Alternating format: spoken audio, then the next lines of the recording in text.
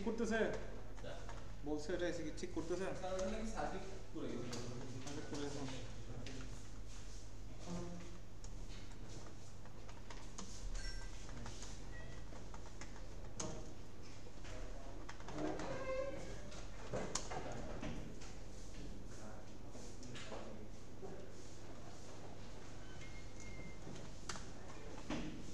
বাকিরা কই? আজকে আর কেউ আসেনি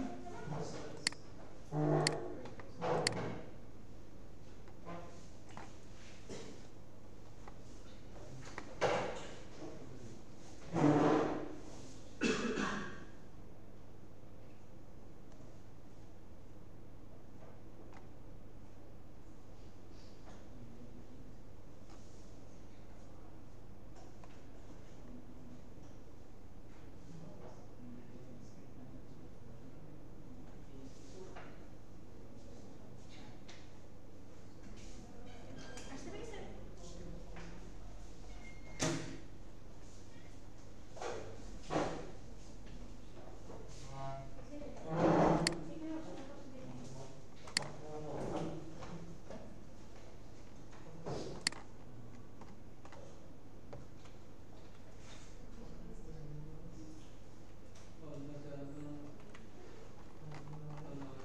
আজকে টপিকটা তুলনামূলক সহজ গতকাল হচ্ছে সহজ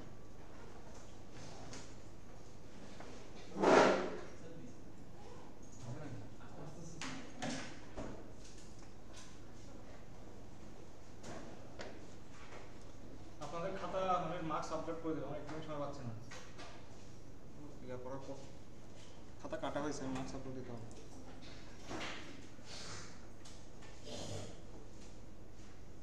পরীক্ষা কোন দিন পড়েছে তিরিশ তারিখ পড়ে গেছে প্রথম পরীক্ষা এটা যাবে ঠিক আছে স্যার বলতে স্ক্রিনটা ভালো করে বুঝি নাই স্ক্রিনটা ভালো করে দেখা যায় না লাইভ অফ করে দাও হয় সবগুলো মনে হয় চলবে ঠিক আছে, হ্যাঁ? আচ্ছা আজকে হচ্ছে কনকারেন্সি কন্ট্রোল আমাকে একটু কেউ সংক্ষেপে কেউ বলতে পারবেন? মানে কনকারেন্সি কথাটা দিয়ে কি বোঝায়? Anybody knows what the means of concurrency হ্যাঁ?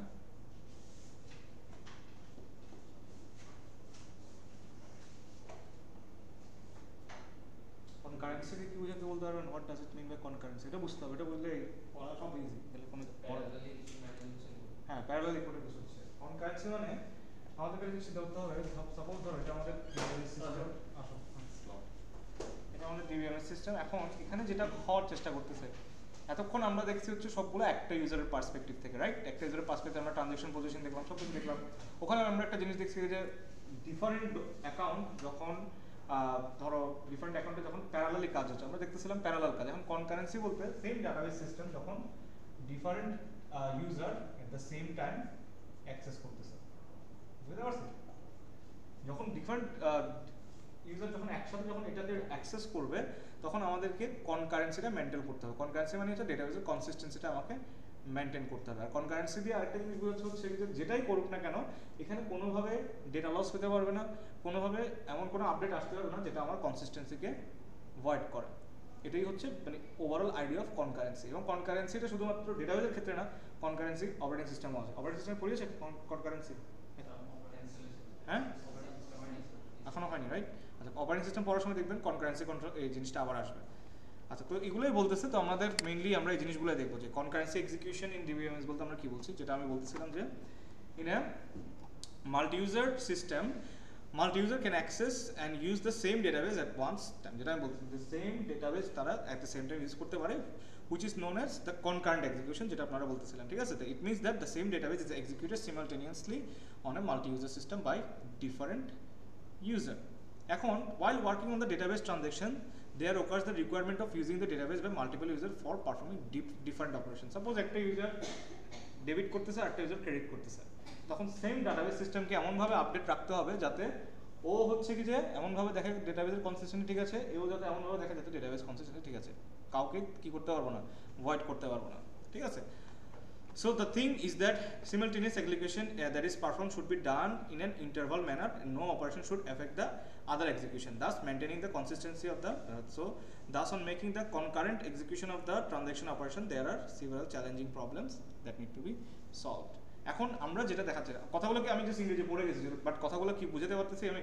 এখানে বেসিক্যালি বলতেছে হচ্ছে কি যে কনকারেন্সি দিয়ে এই যে টপিকগুলো আমরা এখন দেখব তিনটা প্রবলেম সে আপনাকে বলবে, তিনটা প্রবলেমের ডেফিনেশন প্রথমে বলবে, তারপরে গিয়ে তিনটা প্রবলেম কীভাবে আমি সলভ করতেছি বা কোন ইয়াতে সলভ করতে পারছি, সেই তিনটা জিনিস আপনাকে বলব।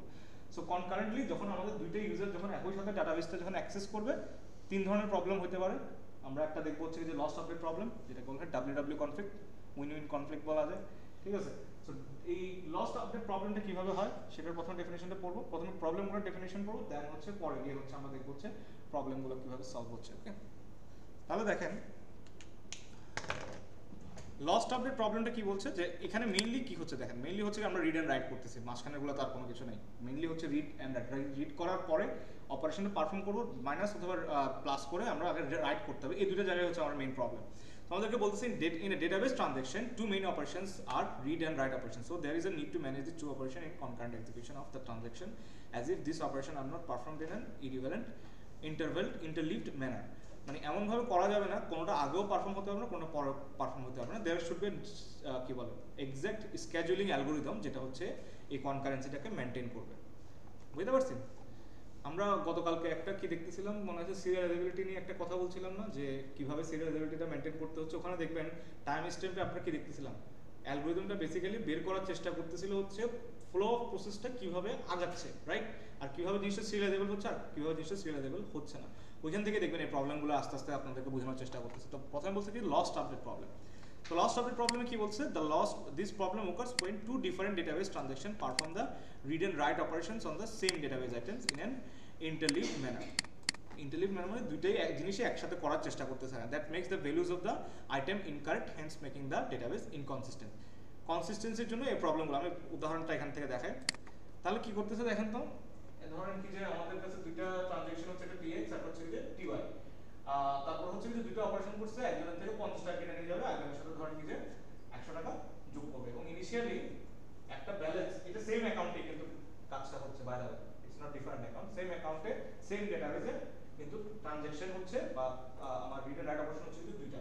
তাহলে কি বলতেছে যে আমাদের অ্যাকাউন্টে কাছে হচ্ছে 300 টাকা, আমি প্রথমে 50 টাকা বিয়োগ করব, তারপর আবার 100 টাকা যোগ করব। তাহলে কত থাকবে? 350 টাকা থাকবে আমার কাছে রাইট কীভাবে হইল? এখন আমাকে প্রথমে বলল কি যে টাইম স্ট্যাম্প 1 এর রিড আই করছি। তখন আমি জায়গায় কি করে নিই এত, এতক্ষণ পর্যন্ত কিন্তু এটাই দেখতেছিলাম, তাই না? যে কীভাবে, এতক্ষণ দেখছি হচ্ছে এই জিনিসগুলো কীভাবে মেইনটেইন হচ্ছে। এবার কনকারেন্টলি যখন দুইটা এক্সিকিউট করব, তো কি প্রবলেম হচ্ছে সেটা আমি বোঝানোর চেষ্টা করছি। সো আমি বললাম কি যে, তারপর t ইকুয়ালস টু হচ্ছে? A মাইনাস 50 এটা যদি করেন, তাহলে হচ্ছে কি যে, এখানে আবার কি হলো এই রিড করলে কি সমস্যা হচ্ছে বলুন তো? সিম্পলি চিন্তা করবেন, এই এই স্লাইডটা খুব ইজি কিন্তু। প্রবলেমগুলো বোঝার চেষ্টা করলে খুব ইজি বলেন তো, এখানে রিড করলে কি সমস্যা হচ্ছে? এতক্ষণ পর্যন্ত একটু খেয়াল করেন, এতক্ষণ পর্যন্ত আমরা ট্রানজ্যাকশনের এফেক্টটা নিয়ে চিন্তা করিনি। আমি বলছি যে ট্রানজেকশনটা কীভাবে হবে? এক একটা প্রসেস কীভাবে এক্সিকিউট করবে সেটা নিয়ে আমরা এখন শুধু ট্রানজ্যাকশনের প্রবলেমগুলো দেখছি বা ট্রানজ্যাকশনের স্কেজুলিং অ্যালগরিদমগুলো দেখছি রাইট স্কেজুলগুলো কীভাবে আসছে এখন আমরা যেটা দেখতেছি, একটা ট্রানজেকশন হওয়ার পরে আমার ডাটাবেসের স্টেটটা কি হচ্ছে? এই স্টেটটা কি কনসিস্টেন্ট নাকি ইনকনসিস্টেন্ট এটার উপর ডিপেন্ড করে আমরা করতেছি হচ্ছে কনকারেন্সি কন্ট্রোল এখন আমাকে বলেন তো এটা যদি এখানে এসে রিড অ্যাড করে সে কত রিড করবে? ইনিশিয়াল ব্যালেন্স হচ্ছে 300 দুশো পঞ্চাশ।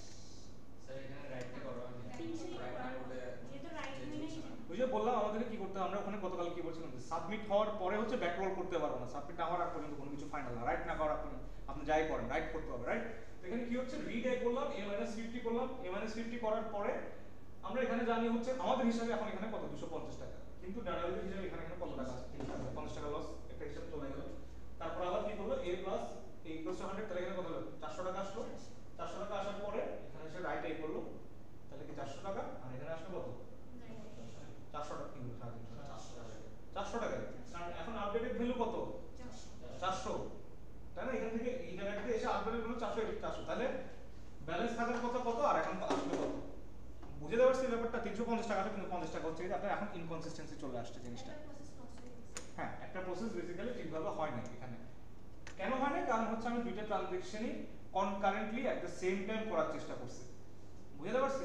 এটা একটা প্রবলেম না, এটাকে বলা হয় লস্ট আপডেট প্রবলেম বুঝতে পারছি? পরীক্ষায় আসলে এটা বুঝে লিখতে পারবেন। সবচেয়ে ইজিয়েস্ট হচ্ছে এই ডায়াগ্রামটা মনে রাখবেন। ইংরেজি কথায় বা আপনার মতো আপনি মানে বুঝতে পারছি?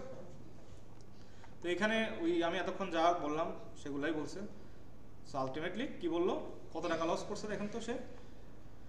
হ্যাঁ, আচ্ছা তারপর হচ্ছে that will be right that will be three hundred only because T X T right the value T four হচ্ছে যে একশো চারশো হলো। T six right the value of the account দুশো পঞ্চাশ T Y didn't update the value yet uh, so that will be 4 that will be 400 sir ওই তো এটা এটা হচ্ছে যে রাইটটা চলে গেছে। আর এর মানে মানে যেটা বোঝাতে চেষ্টা করতে বুঝছি আপনার কোশ্চেনটা কোথায় আসতেছে? আপনি বেসিক্যালি হচ্ছে এই ট্রানজ্যাকশনে যেটা রাইট হচ্ছে, সেটা ওভাররাইট হয়ে কত আসছে এখানে? 400 এ চলে গেছে আর আমি যেটা বলতেছি পুরো পুরো সেম কথাই। লাস্টের এটা যেটা আমার এখানে আপডেটেড আসবে মানে ফাইনালি যেটা কমেন্ট করবে, সেটাই হচ্ছে যে তার আপডেট দিবে আমার একটু বলেছে আমি এখানে 400 বলেছিলাম রাইট এটা 400 এখানে 400 হবে। দুটো একটু জাস্ট খেয়াল রাখতে হবে এই ট্রানজ্যাকশনে এর ভ্যালু ধরে রাখছে হচ্ছে ও কত? দুশো পঞ্চাশ 250 রাইট এই ট্রানজ্যাকশনে এর ভ্যালু ছিল 250 তাহলে এখানে রাইট করার কথা কত ছিল? 250 এই ট্রানজ্যাকশনে এর ভ্যালু কত? 400 এখানে রাইট করছে 400 বুঝতে পারছি টাইম স্টেপ ডিফারেন্ট হওয়ার কারণে আপনি 400 হয়েছেন বাকি 250 এর যে ইনফরমেশনটা ছিল সেটা চলে গেছে। ইউ হ্যাভ লস্ট 250 ডলার্স বুঝতে পারছি এটাকে বলা হয় lost update problem so hence the data becomes incorrect and database sets to inconsistent আমরা সব সময় মনে রাখতে হবে লাইফে রিয়েল লাইফে করতে গেলে we always have to maintain this one acid properties এটা পরীক্ষায় আসবে 99.9% শিওর অ্যাসিড প্রপার্টিজ ঠিক আছে? আর আপনারা এই তুই কি বলে কোয়ারিগতগুলো লিখতে পারেন না কেন? কাহিনী কি? ওই দিনের পরীক্ষাটাতে কি হয়েছে আমি নিজেও বুঝি নাই স্যার আমি একটু বলি ওখানে এসিটা পুরো নষ্ট হয়ে- নষ্ট ছিল তো মানে গরমে আর মাথায় আসতো গরমটা আসলে আমাদের মধ্যে অনেক বেশি যুক্ত হয় না এসি থেকে আমি যুক্ত হই না আর বাকিদের আচ্ছা উনি ধরলাম যে আর বাকিদের? অনেকেরই তো পরীক্ষার একদম খুব একটা ভালো হয়নি। এরকম হলে তো হবে না। একদম স্লাইডারগুলো দেওয়ার পরেও যদি না পারেন, কিচ্ছু করার থাকবে না। আচ্ছা এটা উইন উইন কনফ্লিকশন এটা হচ্ছে রাইট রাইট কনফ্লিক্ট ঠিক আছে? উইন উইন কনফ্লিকশন একটা হচ্ছে রিড রাইট মনে হয় এখন আসবে একটা রাইট রাইট হবে, একটা রিড রাইট আচ্ছা রাইট রিড কনফ্লিক্ট মানে প্রথমে রাইট হবে তারপর হচ্ছে রিডের যে কনফ্লিক্টটা তাহলে এটাকে বলতেছে হচ্ছে ডার্টিং রিড প্রবলেমস একটু আগে দেখেছি কি? লস্ট আপডেট প্রবলেমস এখন দেখছি কি? ডার্টি রিড প্রবলেমস রাইট আর এগুলোকে আমি আমি কি স্লাইড করে দিলে সুবিধা হবে নাকি মানে যেভাবে একটু আগে যেটাতে বলে দিয়ে আসছি ওইভাবে বললে হবে? আচ্ছা আচ্ছা ঠিক আছে। স্লাইড তাহলে আমি করে দেওয়ার চেষ্টা করছি। এগুলো আমি স্ক্রিনশট নিয়ে স্লাইডে এটা আপনাদের উপর। So, anyways, the data read problem occurs when one transaction updates an item of the database and somehow the transactions fail before the data gets rolled back. The updated database item is accessed by another transaction. There comes the read write conflict between both transactions. কথাটা কি বুঝে বুঝেছে ওরা কি বুঝাতে চাইছে বুঝতে পারছেন কি বলছে আমি ডাটা রাইট করতে চাইছি কিন্তু রাইট হয় নাই এবং সেই মুহূর্তে before the the data gets roll back the updated database item is accessed by another transaction মানে আপডেট হওয়ার আগেই আমার একটা ট্রানজ্যাকশন কি করে ফেলতেছে? এটাকে রিড করে ফেলতেছে। রাইট করার চেষ্টা করছে হয়নি, কিন্তু সেটা রোল ব্যাক করার আগে আরেকজন কি করতেছে? রিড করে ফেলতেছে। এটাকে বলতেছে হচ্ছে dirty read problem just W W মানে হচ্ছে রাইট রাইট ডাব্লিউ আর মানে হচ্ছে রাইট রিড প্রবলেম যেটা, ঠিক আছে? তাহলে আমরা আরেকটা সিমিলার একটা এক্সাম্পল এখানে আসবে। Consider two transaction TX and TY in the below diagram performing read and write operations on the account A what the available balance is তিনশো হান্ড্রেড ঠিক আছে? তাহলে এখানে কি হচ্ছে আমাদের? বলতেছে হচ্ছে সাপোজ ধরো রিডের এখানে আমরা কত পাইছি বিলো তিনশো টাকা। তারপরে আমাদের এখানে কিছু নাই কিছু নাই। এখানে টাইম স্ট্যাম্প টু দিয়ে সাহেব আছে এ প্লাস ফিফটি তাহলে ওই কত হলো? তিনশো পঞ্চাশ টাকা হলো। রাইট এ করতে চাইছি রাইট এখন রাইট এ করে আমাদের কত আসবে এখানে? সাথে সাথে এই কত? রিড তিনশো পঞ্চাশ? কিন্তু সার্ভার কি করছে এখানে আবার?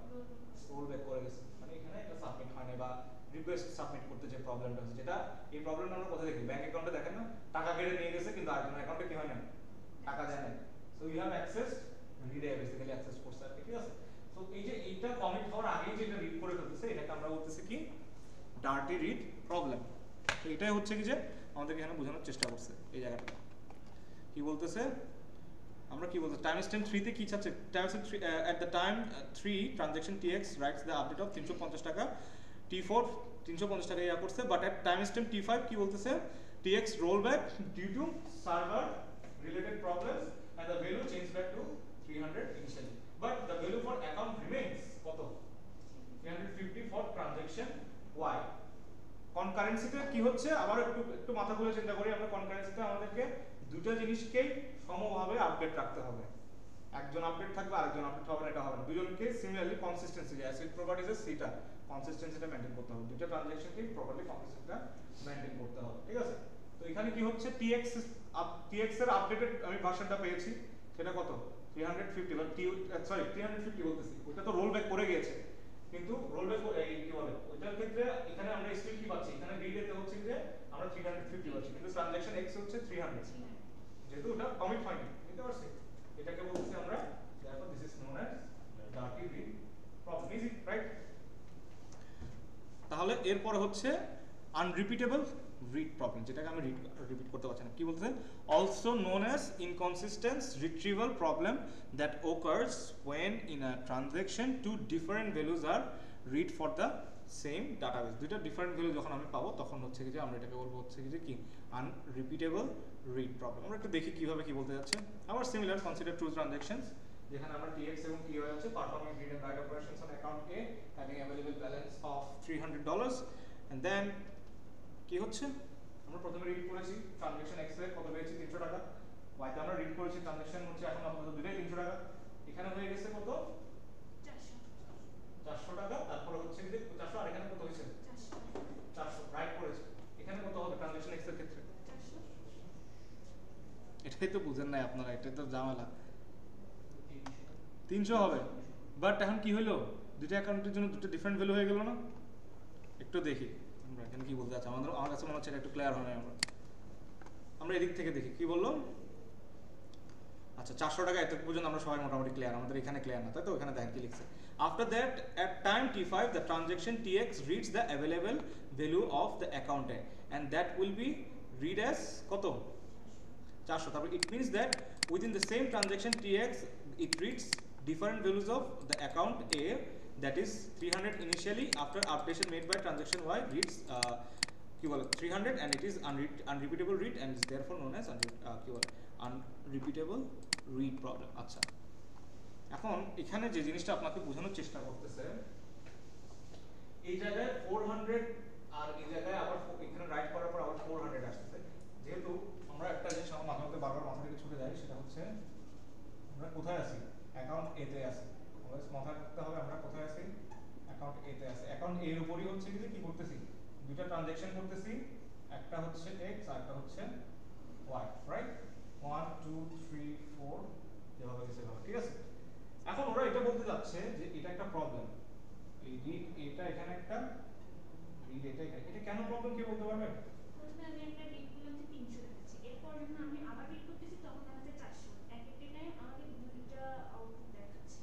ঠিক আছে তাহলে এটা কেন প্রবলেম আমি একটা যে একবার এটা ঠিক আছে আপনার ইন্টারপ্রিটেশনটা কমপ্লিটলি কারেক্ট বাট দুইটা রিড থাকলে প্রবলেমটা কেন আমি হবে যখন at a time ই প্রথমে প্রথম রিড করলাম তিনশো দেখতেছি পরে রিড করতেছি আবার চারশো দেখতেছি তো এটা তো আমার কাছে ভুল মনে হতে পারে যে আমি তো জানতেছি না না টেকনিক্যালি আনসার দিতে হবে। হ্যাঁ?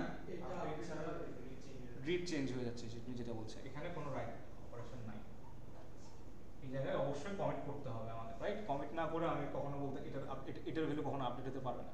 ঠিক আছে? মানে প্রপারলি রাইট ছাড়া আমার এখানে দুটা ডিফারেন্ট ভ্যালু আসতেছে। মানে জিনিসটা এভাবে চিন্তা করেন, আমি আমি যদি এই সাইডটা যদি ক্লিয়ার এই সাইডটা যদি আমি ভালো করে খেয়াল করি, এখানে কোনো কিছু আমি আপডেট করেছি? তাহলে এটার ভ্যালু সেম থাকার কথা না? তাহলে এখানে আমি আপডেট করছি, ওর ভ্যালু ওর মতো আপডেট করবে, সেটা ওর ঝামেলা টেনশন করা রাইট তাহলে আবার আমরা কি বলতেছিলাম একটু আগে? দেখবেন প্রত্যেকটা ট্রানজ্যাকশন ইন্ডিপেন্ডেন্ট থাকে। করতে পারে না এফেক্ট করতে পারে না রাইট তো কি বলতেছে তখন হচ্ছে কি যে আপনার এখানে কোথায় করল? এই জায়গায় করল না? কনকারেন্সি করতে গিয়ে? তাহলে এটা কি এই চলে বুঝতে পারছি? এটাকে আমরা কি বলতেছি? আনরিপিটেবল কারণ এটা রিপিট করা যাবে না দ্যাটস ওয়াই এটাকে বলতেছি আমরা আনরিপিটেবল রিড প্রবলেম ক্লিয়ার একটু পর্যন্ত।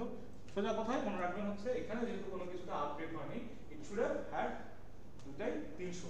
বাট এখানে আপডেট হওয়ার কারণে এখানে এসে হয়ে গেছে আবার তিনশো। এখানে রিড করলে তিনশো আসলে কোনো সমস্যা নেই আমি আবার অ্যাড করে দিয়েছি এটাকে। এটা এই ট্রানজেকশনের জন্য কি বলে? চারশো টাকা ঠিক আছে বাট এই ট্রানজেকশনের জন্য চারশো টাকা ইজ রং রিয়েল লাইফে আমরা রিয়েল লাইফে আমার? তো ইনস্ট্যান্ট মনে পড়ছে না এরকম। কোয়াইট কি বলে এরকম আমি কখনো ফেস করি নাই টু বি অনেস্ট আপনার মনে আমি ব্যাংকের ট্রানজাকশনের ক্ষেত্রে হতে পারে বাট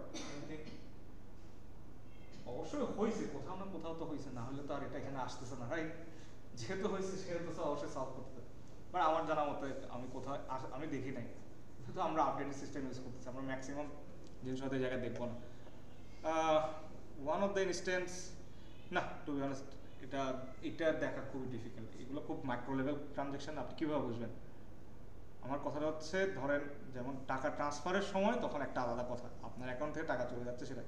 বাট আপনার অ্যাকাউন্টে কিছু উল্টো উলট পালট হচ্ছে, এটা কি বলেন? এটা হয়তো বিকাশে দেখা যেতে পারে আর কি। ধরেন কি যে আপনি টাকা পাঠাইছেন, টাকা সেম রয়ে গেছে।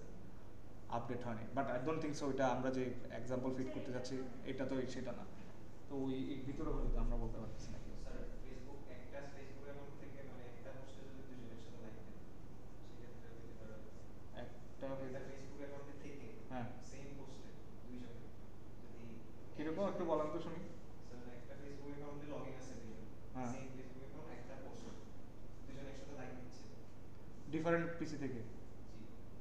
একই সময়। তো সেই ক্ষেত্রে একটা রিড হইতে পারে বা কোনো একটা মিস হইতে পারে। আমার তো মনে হয় ফেসবুক এটাতে প্রবলেম হওয়ার কথা। আপডেট একটা সময় জাভাতে এই প্রবলেমটা দেখা যায়। তাই? মানে বুঝতে পারছি আপনি যেটা বোঝা যাচ্ছে। পেজ আপডেট হয়নি আর কি, আপনারটা কাউন্ট হয় না আরেকজনটা কাউন্ট হয়ে বসে আছে। এটাই তো, ওটা তো হচ্ছে না। এখানে কিন্তু বেসিক্যালি বলার চেষ্টা করতেছে যে এটারটা ট্রানজ্যাকশন ওয়াইটা আপডেট হয়েছে, ঠিক আছে? বাট ওরা বলতে চাচ্ছে হচ্ছে কি যে, এখানে কনসিস্টেন্সিটা ভাঙার কথা না। এখানে কিন্তু ইউজুয়ালি ট্রানজ্যাকশন ওয়াইজ কোনো প্রবলেম না। আপনি যে এক্সাম্পল জানার কথা বলতেছেন ওই জন্যই আনসার দিতে পারছি না বিকজ হচ্ছে এখানে ট্রানজ্যাকশন ওয়াইজ কোনো প্রবলেম না। ট্রানজ্যাকশন ইজ এক্সিকিউটেড ঠিক আছে? বাট ওরা বলছে যে এটা করলে হচ্ছে কি যে আমার কনসিস্টেন্সিটা ডিফারেন্ট হচ্ছে। ওদের যে আমরা যে ডিজাইন মেথোলজিগুলো যে পড়েছি, সেই হিসাবে আমাদের, আমরা বলতে বলতে পারতেছি কি যে সেম ট্রানজ্যাকশন যেহেতু কোনো আপডেট হয় এটা সেম থাকার কথা। বাট আপডেট তো কমে তো হয়ে গেছে। এখানে ট্রানজ্যাকশন আমরা আপ- আমরা, আপনারা যেগুলো বলার চেষ্টা করতেছেন, এগুলো কিন্তু ফেল মানে এক্সাম্পল আর সোজা কথা রাইট এখানে এটা হচ্ছে, আমার কাছে এক্সাম্পল না দেখি আমি যদি এক্সাম্পল পাই, জানাব। ক্লাসরুমে জানাই দেবো। এরকম একটা কোয়েশ্চেন আমাকে ইয়াতে করছিল জাভাতে করছিল একজন।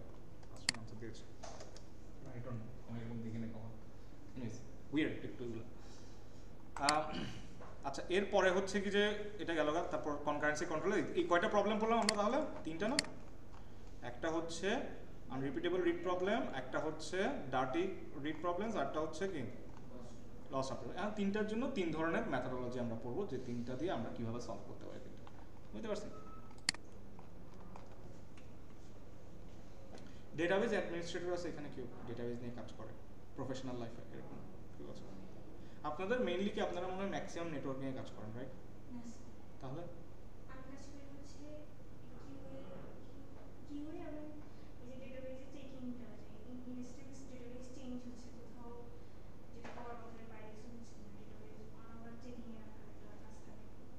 সো আপনাদের ডেটাবেসটা কিসে রান করছে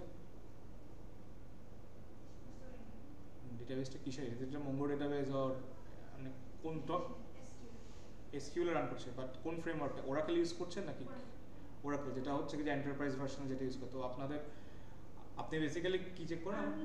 আমি হচ্ছে কোনো কিছু করি না। আমার কাজ হচ্ছে যে আহ, বন্দরে যে কাজগুলো হয় বেসিক্যালি হ্যাঁ। ওদের পুরো বন্দরের কাজগুলোকে অটোমেট করা হয়েছে হুম। অটোমেট ইউআইতে তো ওরা কাজ করতেছে যেটা দিচ্ছে ওদের অন প্রসেসগুলো চলছে করার পর হচ্ছে ওরা অনেকগুলো জিনিস ইমপ্রুভ করতেছে মানে আমি রান টাইম যে আমি দেখতেছি সিস্টেমে কোনো বাগ আসতেছে কিনা কোনো বাগ আপনার নতুন কোনো মডেলে কোনো নতুন রিকোয়ারমেন্ট আসতেছে কিনা বুঝতে পারছেন আর ডাটাবেসটা চেক রাখা যেখানে কোনো ভুল কিছু হচ্ছে কিনা আর নাহলে হচ্ছে হুম। যেহেতু ফাইন্যান্সিয়াল ট্রানজাকশন থাকে ভুল হয়ে গেলে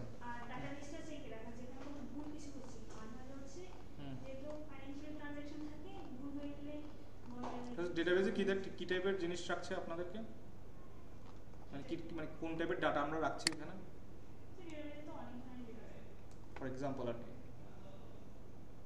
ডেইলি আপনি আজকে কি নিয়ে ডিল করে আসছেন ফর এক্সাম্পল অনেক হ্যাঁ ব্রো আপনি বলতে পারেন যে আচ্ছা আমি আজকে ফাইন্যান্সিয়াল ডেটা নিয়ে ডিল করেছি আপনি আজকে কি নিয়ে ডিল করেছেন Financial data গুলোই। Financial টাকা data, পয়সা নিয়ে maximum deal করা হয়।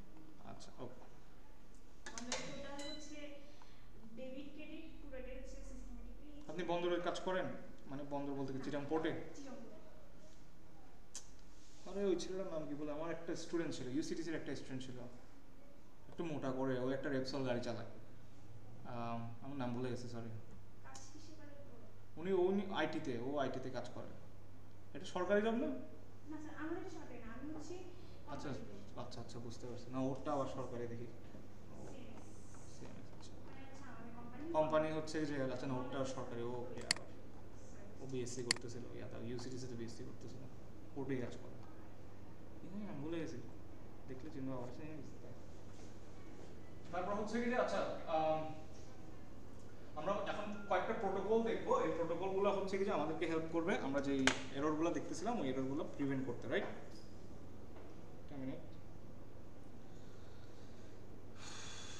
তো আমরা প্রথমে কি বলতেছি? Lock based protocol lock based প্রোটোকলে কি আছে দেখেন তো?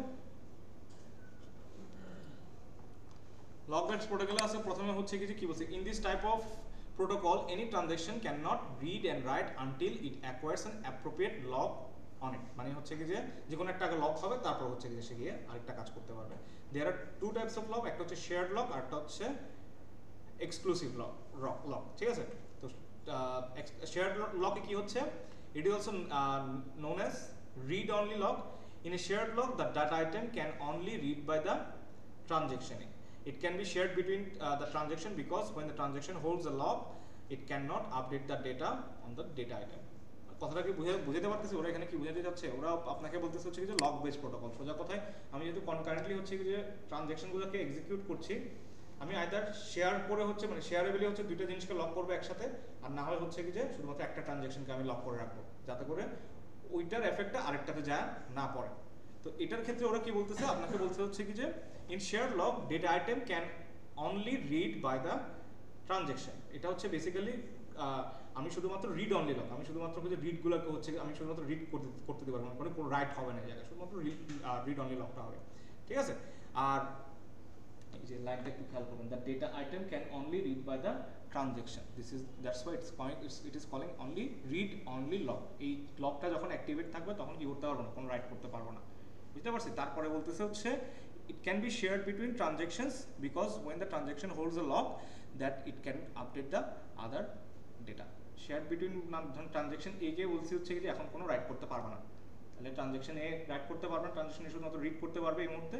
আরেকটা রাইট করল বা যেটা করল, তাহলে ট্রানজেকশন এ কে আপনি পরে গিয়ে আবার আপডেট করতে পারবেন। বুঝতে পারছি?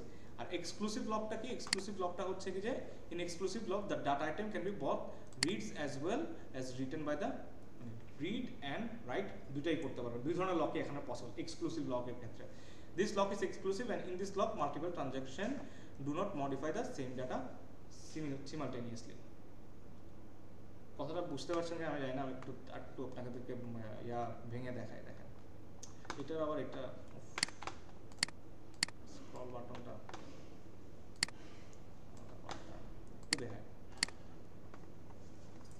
এখন যেগুলো পড়েন এগুলো মোস্টলি থিওরিটিক্যাল পড়া, চিত্র দেখে কত আচ্ছা এখান থেকে একটু যদি আমি একটু দেখানোর চেষ্টা করি।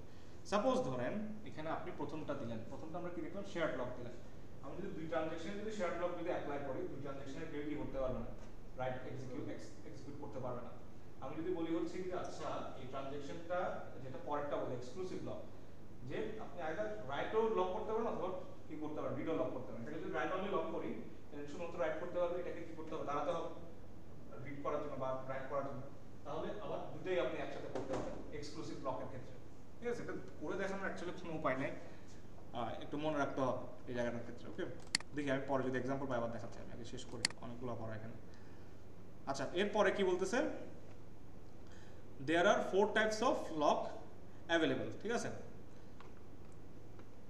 মেইনলি টু টাইপ বাট এগুলোর কিছু জাস্ট কি বলে এক্সটেনশন কি কি আছে? সিম্পলিস্টিক লক প্রোটোকল তারপর আছে হচ্ছে প্রিক্লেম প্রিক্লেমিং লক প্রোটোকল তারপর হচ্ছে টু ফেজ লকিং আর এর পরে আছে strict two phase locking two PL okay সেগুলো হচ্ছে যে জাস্ট আমাদের যতগুলো লক প্রোটোকল আছে জিনিসগুলো, তাহলে আমরা একটা আস্তে আস্তে দেখি যে কীভাবে কী হচ্ছে। জিনিসগুলো মজার আছে, বুঝতে পারলে মজার লাগবে, না হলে খুবই বোরিং লাগবে। সিম্পলিস্টিক লক প্রোটোকল জিনিসটা কি? সিম্পলিস্টিক লক প্রোটোকল বলতেছে হচ্ছে it is the simplest way of locking the data while transaction simplistic lock based protocol allow all the transaction to get lock on the data before insert or delete or update on it. It will unlock the data item after completing a transaction. কি বলতেছে, আপনাকে কি বলতেছে, এগুলো সবগুলো কখন হচ্ছে? Concurrency কন্ট্রোলের ক্ষেত্রে হচ্ছে। সোজা কথায় সিম্পলিস্টিক লক প্রোটোকলটা কি করতেছে? যে কোনো এক সাইড আমি সবসময় অফ রাখব। ঠিক আছে? যতক্ষণ না পর্যন্ত আমার একটা ডাটা বা একটা ডেটা রাইট করতেছে বা আপডেট হচ্ছে প্রপারলি একটা ট্রানজেকশন যতক্ষণ পর্যন্ত না ফুলফিল হচ্ছে, ততক্ষণ পর্যন্ত অন্য আরেকটা যেটা আছে, সেটা কি হবে না এক্সিকিউট করতে পারবে না। আমার আরেকটার জন্য ওয়েট করতে হবে। এটা যদি ফুললি শেষ হয় দেন আমি আরেকটা করব। এটাকে বলতেছে হচ্ছে কি যে সিম্পলিস্টিক লক প্রোটোকল তারপর লাস্টের লাইনে খেয়াল করে দেখুন it will unlock the data item after completing the transactions একটা হলো তার দেন হচ্ছে আরেকটা করতে পারবে, ঠিক আছে? ওই ডাটাটা লক করে রাখবে, সোজা কথা আচ্ছা এরপর কি বলতেছে? Preclaiming lock protocol preclaiming lock প্রোটোকলের ক্ষেত্রে কি হচ্ছে? Preclaiming preclaiming lock protocol evaluate the transaction to list all the data items and on which they need to, they need locks and that কি হচ্ছে before initiating an execution of a transaction it requires the DBMS for all the lock on those on those data items তারপর কি বলতেছে if all the locks are granted then this protocol allows the transaction to begin তারপর হচ্ছে কি যে uh, when the transaction is completed it releases the lock if all locks are not granted then this protocol allows the transaction to rolls back and waits until all the locks are granted Preclaiming lock বলতে মানে নামটা খেয়াল করতে হবে। এটা ইংরেজি লিখতে কঠিন লাগতেছে অ্যাকচুয়ালি কঠিন কিছু না। এখানে সোজা কথায় আপনাকে বুঝাতে যাচ্ছে হচ্ছে, আমি যখন কোনো ট্রানজ্যাকশনকে কমিট করাতে যাব, আমার এখানে লগ অ্যাক্টিভেট করা আছে। আমার যখন প্রিক্লেমিং প্রোটোকলটা আমি অ্যাক্টিভেট করব প্রিক্লেমিং প্রোটোকল বলতেছে, আমার সব ট্রানজ্যাকশনকেই লক থাকা লাগবে, কোনো ট্রানজ্যাকশন খালি থাকতে পারবে কোনো ট্রানজ্যাকশন যদি খালি থাকে তাহলে আমাকে তাকে কি করে আনতে হবে? সাপোজ ধরুন আপনার কাছে চারটা ট্রানজ্যাকশন আছে এখন, ঠিক আছে? চারটা ট্রানজ্যাকশনের ক্ষেত্রে আপনি দেখলেন আপনার এই প্রোটোকলের ক্ষেত্রে যখন এটা ইমপ্লিমেন্ট করলেন, এই প্রোটোকল প্রথমে দেখল হচ্ছে তিনটা ট্রানজেকশন লক করা আর বাকি একটা লক করা নেই। সে বলবে যে না, আমি তাহলে করতে পারব না, আমাকে বাকি আর ওইটাও লক করে দিয়ে আসো। ওটা লক হবে লক করার পরে এবার সে তার কাজটা করবে। এরপরে হচ্ছে যে টাইমটা হচ্ছে যে আপনি লক করে রাখছেন, ওই টাইমটাতে সে লক করে রাখবে। টাইমটা শেষ, এরপরে গিয়ে আবার ওই চারটা ডাটাকে রিলিজ করে দেবে, চারটা ট্রানজ্যাকশনকে রিলিজ করে দেবে। প্রিক্লেমিং লকটাকে আমি বুঝাতে পেরেছি? হোয়াট ইজ প্রিক্লেম প্রিক্লেম দিয়ে এটাই বোঝাচ্ছে বেসিক্যালি আমি আগে থেকে হচ্ছে কি যে জিনিসগুলোকে কি করে রাখতে রাখার চেষ্টা করতেছি। সবাই লক কিনা আমি আগে সেটা মেক শিওর করার চেষ্টা করছি। মানে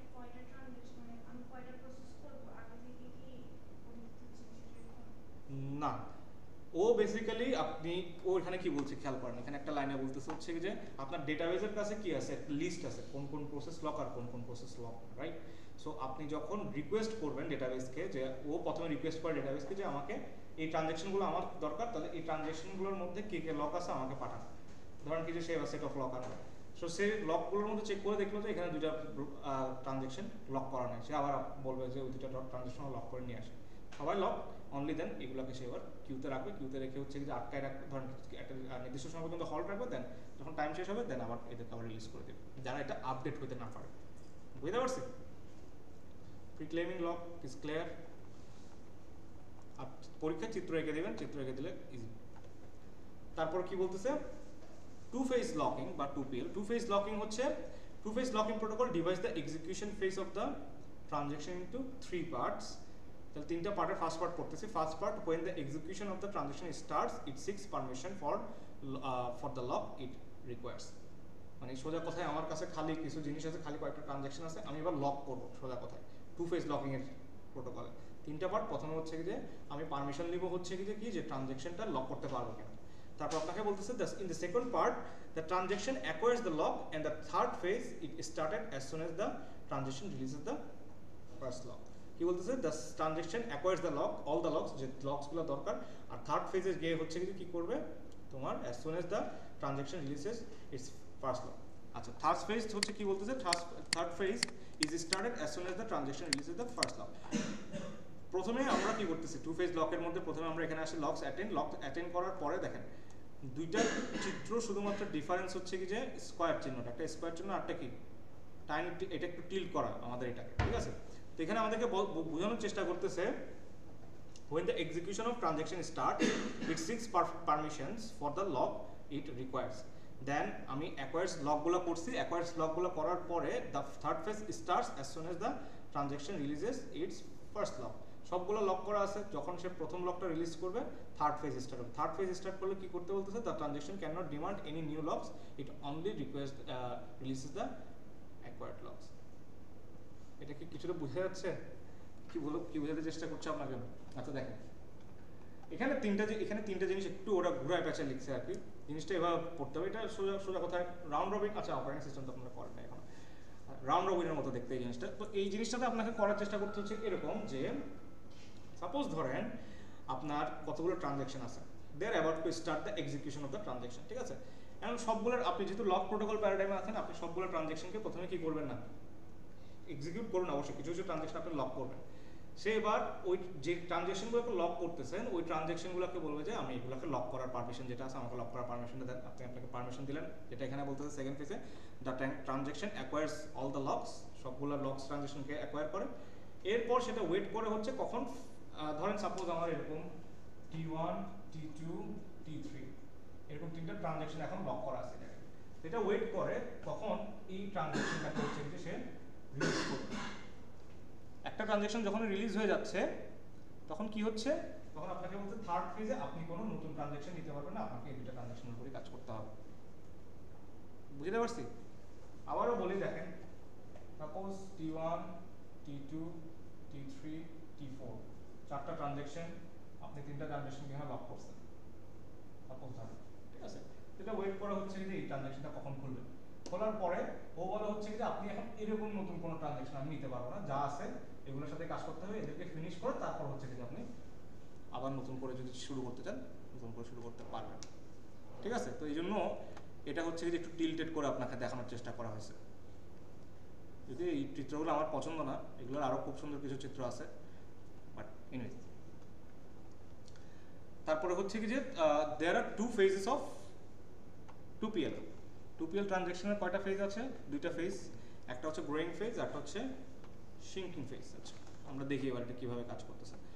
গ্রোয়িং ফেসটা কি? গ্রোয়িং ফেস হচ্ছে কি চিন্তা growing phase and new lock on the data item may be acquired by the transaction but none can be released R shrinking ফেজের মধ্যে হচ্ছে তার ওটাটা existing lock held by the transaction may be release but no new lock can be দুইটা গ্রোয়িংয়ের মধ্যে আপনি চাইলে নতুন ট্রানজেকশন নিতে পারেন বাট শর্তটা একটু খেয়াল করেন আমি যতক্ষণ পর্যন্ত এই যেগুলো, এগুলো যতক্ষণ পর্যন্ত না হচ্ছে, ততক্ষণ পর্যন্ত কিন্তু আমি নতুন কিছুতে যেতে পারছি না। তো আমার এরকমও হইতে পারে আমার আসতে পারে হচ্ছে, ধরেন আমি আরও আমার প্রসেস আছে, আমি তো সবাইকে একসাথে প্রসেস করতে পারব না, তো গ্রোয়িংয়ের একটা কারণ হচ্ছে যে আমি কি নতুন ট্রানজাকশন ইনক্লুড করতে পারব কিনা আমার টু ফেস ইয়ার মধ্যে।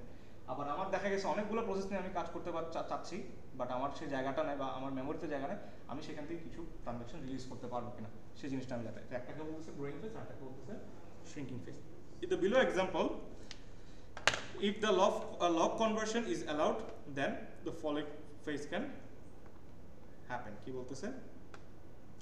Upgrading of lock from S, S of A to X of A is allowed in growing phase. Downgrading of lock uh, XA to SA must be done in shrinking phase. আমরা একটু দেখি এটা time স্ট্যাম্পটা কীভাবে যাচ্ছে এটা explain করেছে আমাদেরকে না এক্সপ্লেনের খুব একটা দরকার নাই আচ্ছা এখান থেকে দেখায় জিনিসটা। লকের যদি এক্সাম্পল কেউ লিখতে চান, এভাবে লিখতে পারবেন কোনো সমস্যা নেই। স্নিপিং টু কয়টা ক্লাস আমার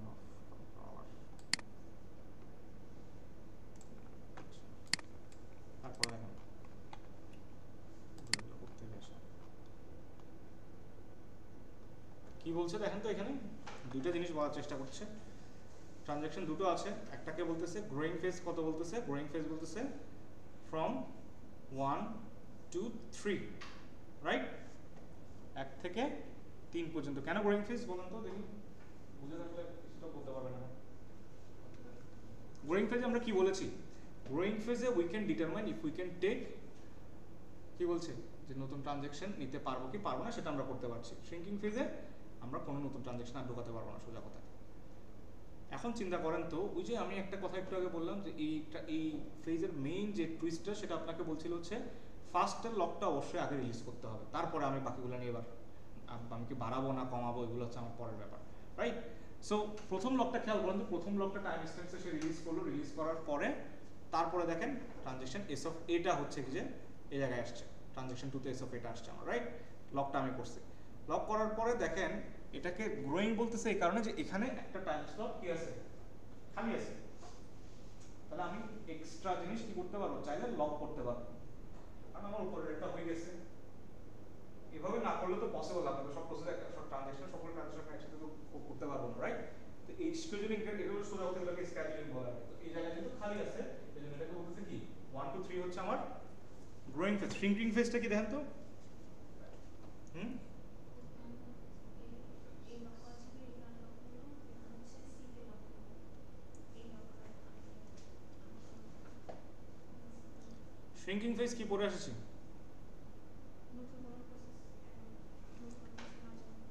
অ্যাড হওয়া যাবে না আচ্ছা ঠিক আছে, তাহলে কি বলতেছে? ফাইভ টু সেভেন ফাইভে আমি কি করছি? সি কে লক করেছি।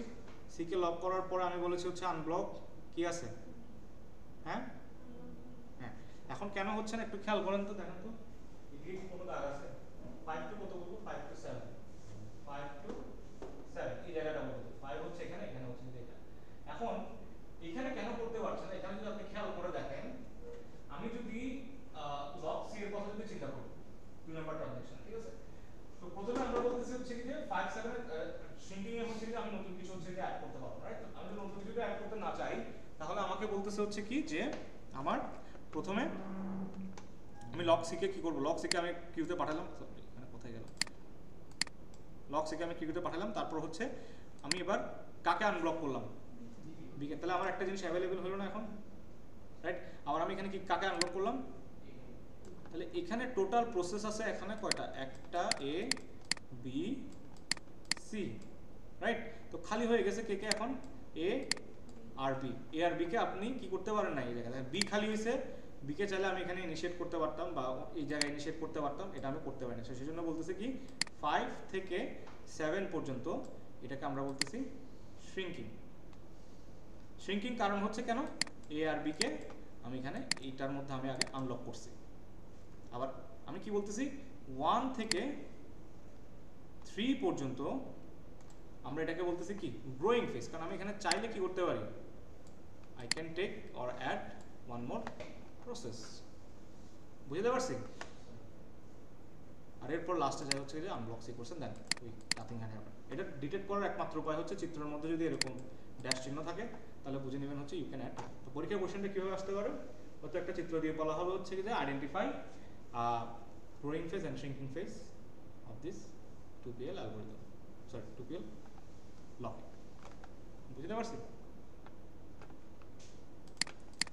আর ফেজ তিনে আমরা কি করছি? বলেন তো, তিন নাম্বার স্টেপে আমরা কি করেছি?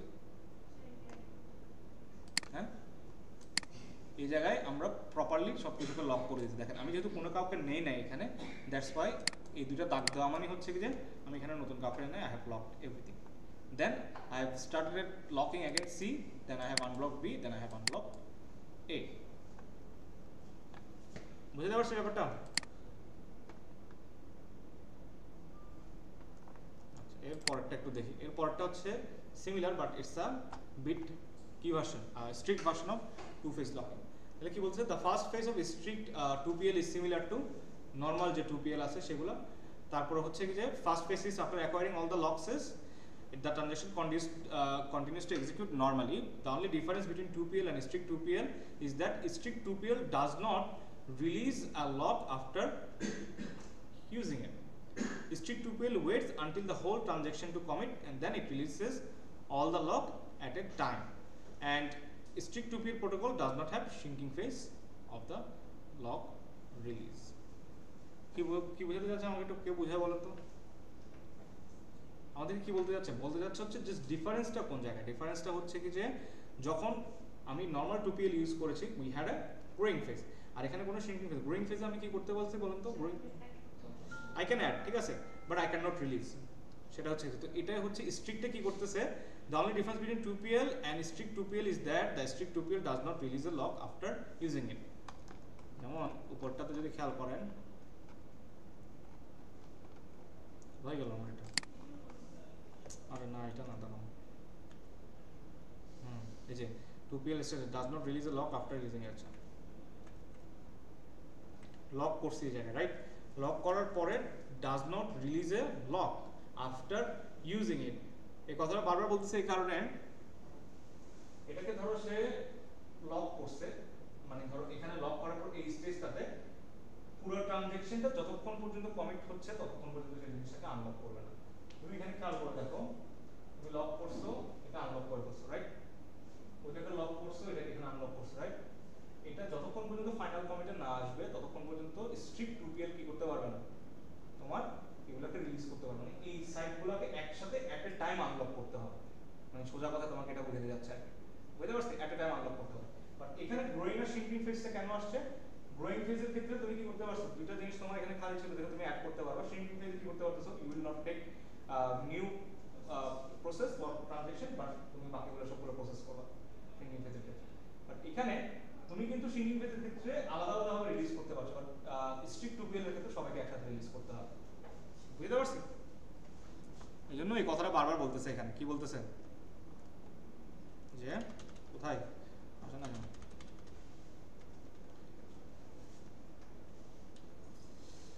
strict 2PL waits until the whole transaction to commit and then it releases all the lock. The difference is does not release a lock after using বুঝতে পারছি will not release any lock after using it. সোজা। তাহলে আমরা চারটা জিনিস কি বুঝে আসছি, কিছুটা পরীক্ষায় আসলে চিত্র সহ সুন্দর করে বর্ণনা করে দিই strict phase strict two phase locking আরটা হচ্ছে কি? Preclaiming lock simplistic lock important হচ্ছে বেসিক্যালি লাস্টেরগুলো যেগুলো একটু কনফিউটিং বল কনফিউজিং আচ্ছা এর পরটা আমরা একটু দেখি, এর পরটা কি? বেশি হয়ে যাবে নাকি আপনার জন্য কম হয়ে যাবে? প্রিক্লেম প্রিক্লেমে কি বলছিল? প্রিক্লেমে বলতেছে হচ্ছে কি যে preclaim lock protocols evaluate the transaction তো আচ্ছা list all the lock items which তারপর হচ্ছে ডিফারেন্সিয়েট লক প্রোটোকল তো প্রিক্লেম লকে হচ্ছে কি যে সোজা কথায় আপনাদেরকে যেটা বলতে যাচ্ছিল যে এই যে এই লাইনটা আছে, if all the locks are granted, this protocol allows the transaction to begin. When the transaction is completed, then it releases all the lock.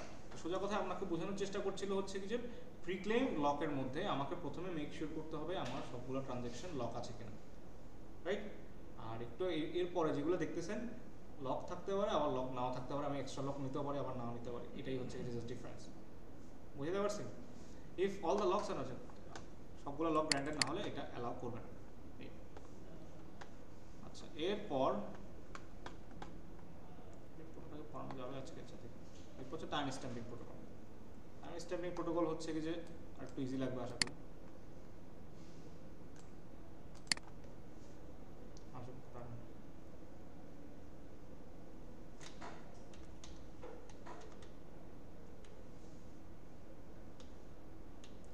আচ্ছা তাহলে এটাতে কি হবে? এটাতে হচ্ছে মানে সোজা কথা যদি আমি বলতে চাই টাইম স্ট্যাম্পিং হচ্ছে যে টাইম স্ট্যাম্পের উপর ডিপেন্ড করে হচ্ছে যে আমি স্কেজুল করব। বুঝতে পারছি? প্রথম কথাটা লেখা দেখেন time stamp ordering is use to order transaction based on their time stamp right the order of transaction is nothing but ascending order of the transaction creation the priority of the older transaction is higher when it's execute the first to determine the time stamp of transaction this protocol uses system time or local counter মানে পুরনো যে ট্রানজেকশনগুলো থাকবে, তাদের priority হচ্ছে মানে তাদেরকে আগে করতে হবে নতুনগুলোকে পরে করতে হবে।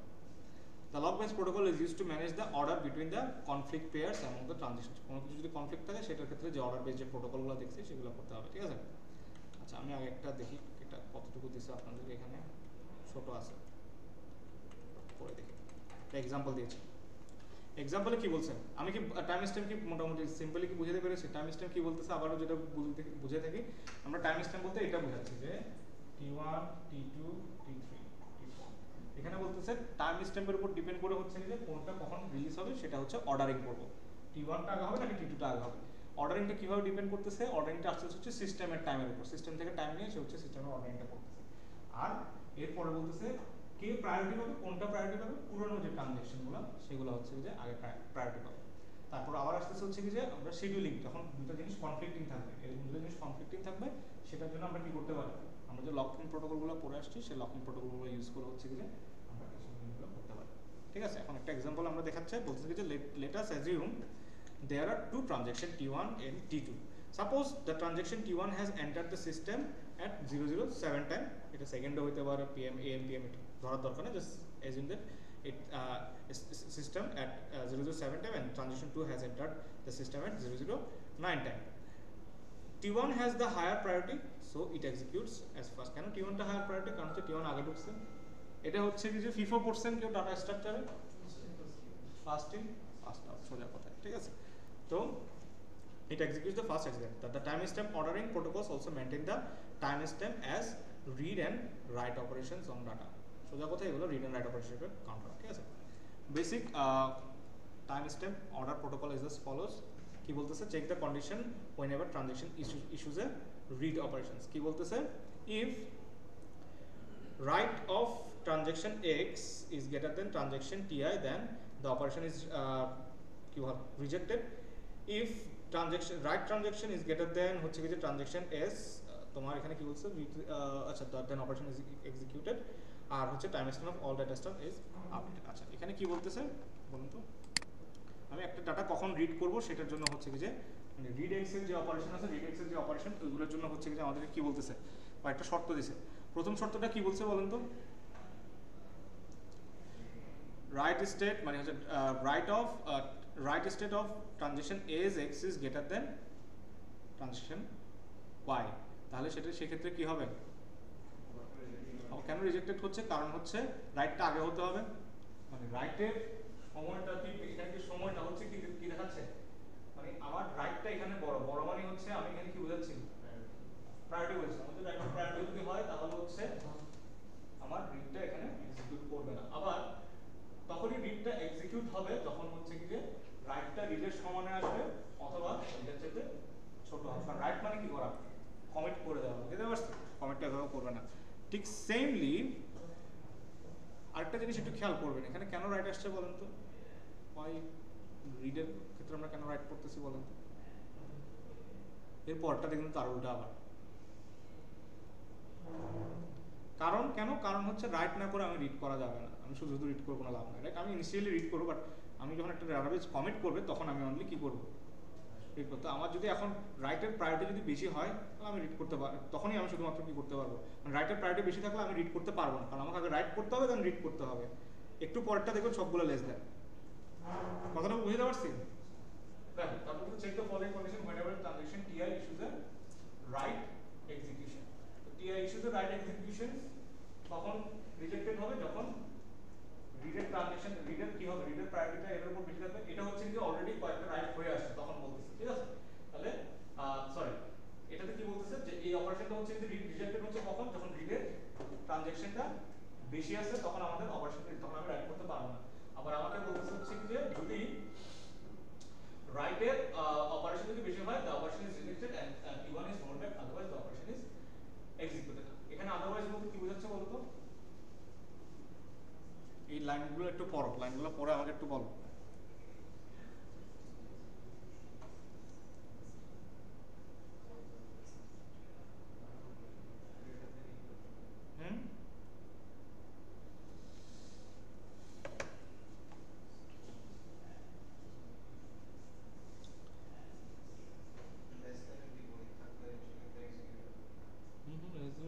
লাস্ট লাইনটা ts of ti transaction ti and write transaction x কি বলতেছে write transaction x বড় থাকতেছে যখন write ty টা ইস্যু হচ্ছে write ty টা ইস্যু হচ্ছে then the operation is rejected ti is rollback otherwise the operation is executed কি বুঝাইতে চাইছে কখন সরি কখন সেটা তো আমিও বুঝছি এক্সিকিউট করানো বাট আমাকে বলেন যে এটার ইন্টারপ্রিটেশনটা কি? In terms of read and write এর আগেরটা তো বুঝতে পারছি, এর আগেরটাতে আমরা কি বুঝতেছি? সোজা কথায় আমি রাইটের আগে রিড করতে পারব না, ঠিক আছে? রাইটটা তখন ইস্যু করতে পারব, যখন আমি কি করতে পারব? সরি রিডটা তখন ইস্যু করব, যখন আমি রাইট করে আসব। এখানে কি বোঝাচ্ছে সেটা হবে প্রথমটা তো রিজেক্টেড প্রথমটা কেন রিজেক্টেড প্রথমটা রাইট রিড বড় হলে আমি অবশ্যই কি করতে পারব না জায়গায়? মানে রিড এখন আমার প্রায়োরিটিতে বেশি আছে। ঠিক আছে? দেখেন রিডটা হচ্ছে তাহলে এই এই মুহূর্তে সে কি করতে পারবে না? ট্রানজেকশন টিআইটা দিয়ে কি করতে পারবে না? রাইট করতে পারবে না এই জায়গায়। ওকে আমি একবার রাইট করে আসছি, আমি দেন রিড করব। আমার রিডের প্রায়োরিটি আছে, তাহলে আমি এখানে রাইটটা এক্সিকিউট করতে পারব। তারপর আমাকে কি বলতেছে এই জায়গায়? রাইটটা যদি বড় থাকে মানে সিম simultaneous time, I cannot write both objects আমাকে এখানে লকিং করতে হবে। এটা কি বুঝতে পারতেছি? টিআই মানে কিন্তু মিন করতেছে ওইটাকে। ইটস নট তাহলে কি বলতেছে যে এখানেও রাইট আছে, এখানেও রাইট আছে। এবং দেখা গেছে দুইটা রাইট হচ্ছে, এখানে কনফ্লিক্টিং সেজন্য বলছে, কি বলে দেখো? The operation is rejected and ti is rolled back, otherwise the operation is বুঝতে পারছি? মানে যে প্রসেসটা আমার অলরেডি আছে, সে যদি অলরেডি বড় থাকে, আমি আরেকটা রাইট ইস্যু করতে পারব না। আর আমি যাকে ইস্যু করেছি, সে যদি যে যে আছে, তার সাথে যদি বড় হয়, তাহলে আমি রাইট করতে পারব। কথাটা এইভাবে বোঝানোর চেষ্টা করা হয়েছে আর কি। বাট ওরা ইংরেজিতে যেটা লিখছে একটু পুয়ার ইংলিশ কিছু করার নাই ইন্ডিয়ান রাইটার্স বুঝতে পারছি আপনাদেরকে একটা মজার আইডিয়া বলি এখন এবার। কেউ যদি ভবিষ্যতে ফেমাস হতে চান, ঠিক আছে? জাভা টি পয়েন্টটাকে দেখতেছেন না? এটা ফুল বাংলা অনুবাদ, যদি কেউ করতে পারে। আপনি ইনস্ট্যান্ট রাতারাতি ভাইরাল হবেন। কিন্তু it's a huge content huge content বলতে হিউজ হ্যাঁ? মানে রাতারাতি সবগুলো নাই বাট এখানে যেমন ধরেন এখানে যেটা হয়, এখানে হচ্ছে কি যে, সোজা কথায় আই উড সে আননেসেসারি জিনিসগুলো বাদ দিয়ে নেসেসারি জিনিসগুলো শুধুমাত্র দেখানো হয়েছে। ইনডেপথ কিছু নাই বাট আপনি যতটুকু না জানলে না, ততটুকু আপনাকে এখানে দেখানো হয়েছে। হুইচ ইজ গুড আমি মনে করি আননেসেসারি জিনিস পড়ার চাইতে অনেক ভালো। যেমন আপনাদেরকে রিলেশনাল অ্যালজেব্রা পড়ায় খুব একটা কোনো লাভ হবে না। কারণ রিলেশনাল অ্যালজেব্রা এখন কেউ আর ইউজ করে না। আনলেস কেউ যদি ডাটাবেজে রিসার্চ করতে যায়। ডাটাবেজে রিসার্চ করে মনে হয় ওয়ার্ল্ডে পয়েন্ট ওয়ান পার্সেন্ট মানুষ, এরকম। খুব কম মানুষ রিসার্চে যায়। Relational algebra is another dimension সোজা কথা। আর ওগুলো পুরো থিওরিটিক্যাল রিসার্চ এরিয়া তো সেই ক্ষেত্রে আমাদের রিসার্চ অ্যালজেব্রা পড়ে খুব একটা লাভ নেই। কারণ আমরা ম্যাক্সিমাম অ্যাপ্লিকেশনে কেউ অ্যালজেব্রা ইউজ করব না। তবে রিসার্চ রিলেশনাল অ্যালজেব্রাটা লাগে হচ্ছে আপনার কোরি অপটিমাইজেশনে কোরিও এখন কি করতেছে আপনার? এআই অপটিমাইজ হয়ে যাচ্ছে। কোরি অপটিমাইজেশন এখন আর কেউ পড়ে না মোস্টলি মোমোডিবি যদি কেউ ইউজ করে থাকেন, দেখবেন most of the cluster is optimize আপনাকে কোনো কিছু বাইর থেকে ধরতে দিবে না। ওরা এখন এটা করে, ওরা হচ্ছে কি যে ম্যাক্সিমাম কোম্পানি যেটা করে, সেটা হচ্ছে সার্ভিস আপনাকে প্রোভাইড করবে, আপনি আপনার ইচ্ছা মতো ইউজ করবেন, এবার আপনি জাস্ট টাকাটা দিবেন। আর ওদের কোম্পানি যেমন মোমোডিবির মতো কোম্পানিরা ইঞ্জিনিয়ার হায়ার করে অপটিমাইজেশনগুলো কেউ ইউজ করে এভাবে ওই ব্যাক এন্ডে যারা কাজ করে, তাদের জানা দরকার। ফ্রন্ট এন্ড যেমন আমাদের এখানে ওয়েব ডেভেলপার বা সফটওয়্যার ইঞ্জিনিয়ার ওদের অতটুকু জানার দরকার নেই অত ইনডেপ না জানলেও চলতেছে আপাতত। আচ্ছা তারপর কি বললাম? যে advantage and disadvantage of time stamp protocol right আমরা টাইম স্ট্যাম্প প্রোটোকল করছি না? হ্যাঁ এগুলো কি? হারামি এখানে ভিতরে এটা কি এখন ওদের জীবন আসলে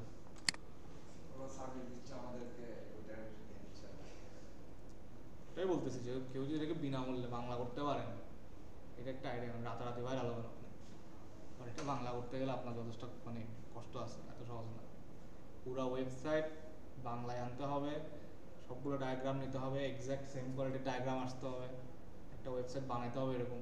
এটা এটা খুবই কমন একটা মানে common architecture just HTML page design করে করে বসাইছে আর কি। এখন প্রবলেম নোট জেস করতেছে এখানে জাভাস্ক্রিপ্ট এটা অনেক আগ থেকে এনিওয়েজ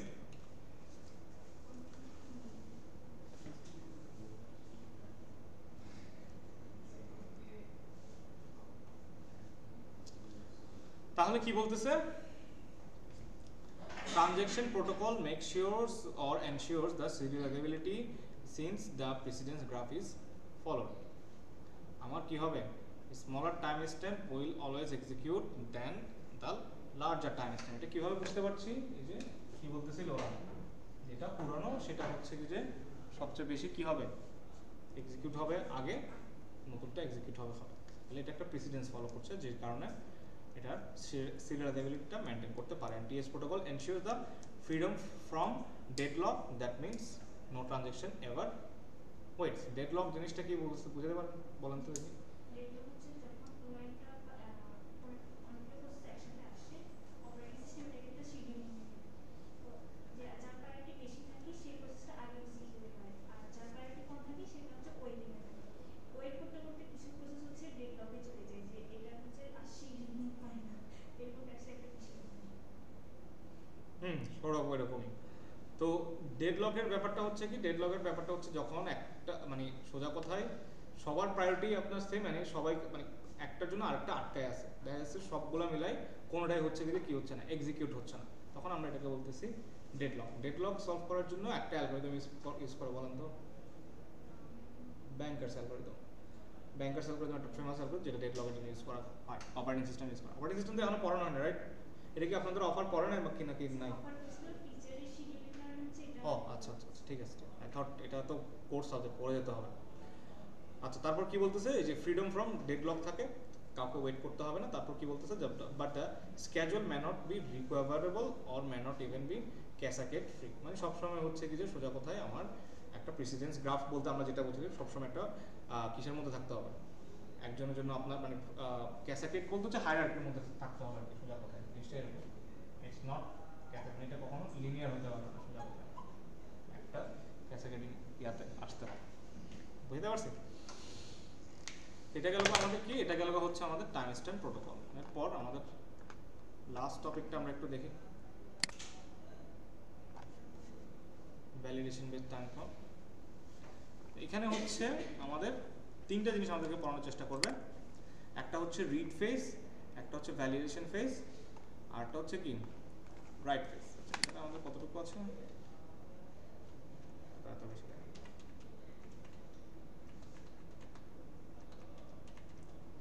আমাদের তাহলে সিলেবাস কি দাঁড়াচ্ছে দাঁড়ান, একটু দেখি। থমাস রাইট রুলটা আমি খেয়াল করে আসি যে আপনাদেরকে দেওয়া যাবে কিনা।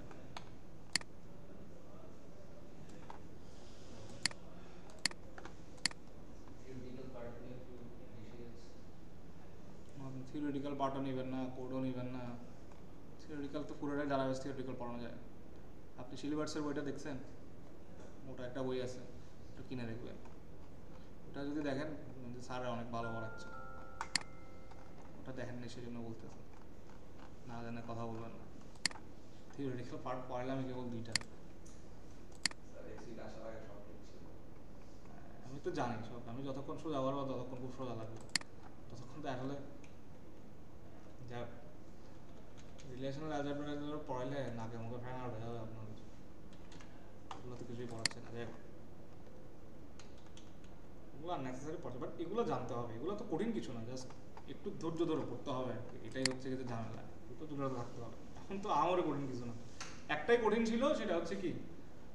সিরিয়াল যে অ্যালগোরিদমটা, ওটাও তো মোটামুটি সহজ করে নেওয়া হয়েছে তো গিক্স ফর গিক্সের টাইপ ইউজ করতে হচ্ছে না, আপনাদের কতটা পরে বুঝিয়ে দেওয়া হলো কীভাবে কী করতে হয়। আর এগুলো কিছুই না, এগুলো হচ্ছে একটু ধৈর্য ধরে বসে কোনটা কি মিন করতেছে একটু কষ্ট করে পড়বেন।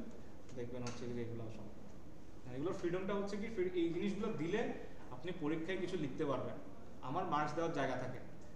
এসকিউএল লিখলে পরীক্ষায় কিন্তু আপনি মার্কস পাবেন না। ভুল মানে পুরোটাই ভুল। একটা লাইন ভুল মানে পুরো এসকিউএল পুরোটাই ভুল। বাই ল আর কি, আমি আপনাকে ডাবল জিরো দিতে পারব। রাইট কিন্তু এগুলো থাকলে আপনার যদি অর্ধেক হয়, আপনার যদি মোটামুটি কাছাকাছি ফুল মার্কস দিতে ইজিলি আমি ফুল মার্কস পাওয়া যাবে। থিওরির দুইটা প্যারা। থিওরি একটা প্যারা হচ্ছে, প্রথম প্যারাটা হচ্ছে কিছু পড়া বেশি বোরিং আর থিওরির অ্যাডভান্টেজ হচ্ছে লেখার জায়গা থাকে অনেকে না বুঝেও লিখে ফেলো না, লিখে যায় হঠাৎ করে। তাদের জন্য বলতেছি আর কি। আমার স্টুডেন্ট যেরকম লিখছিল একবার, ওকে ভাই বাদে জিজ্ঞেস করা হয়েছে ডাটা ক্লিনিং বলতে কি বোঝায়? বলেন তো কি ক্যান্সার দিছে? ডাটা ক্লিনিং এর ডেফিনেশন.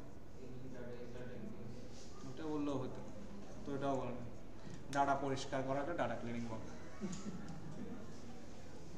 ঠিক আছে? ডাটা ক্লিনিং বলতে বলতাম যে না ঠিক আছে আমার স্টুডেন্ট অ্যাটলিস্ট একটু সম্মান দিয়ে ক্লিনিং হলে ও ডাইরেক্ট স্যার ডাটা পরিষ্কার করাকে ডাটা ক্লিনিং বলে আচ্ছা,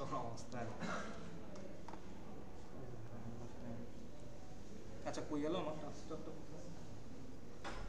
আচ্ছা দেখি আর দুইটা টপিক ইট তারপর আমাদের শেষ।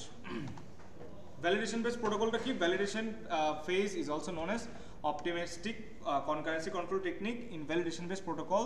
The transaction is executed in following phase. সোজা কথায় ভ্যালিডেশন মানে কি? ভ্যালিড করা। যে আমি যেটা আসে সেটাকে reassure করা। এটা কি হবে কি হবে না।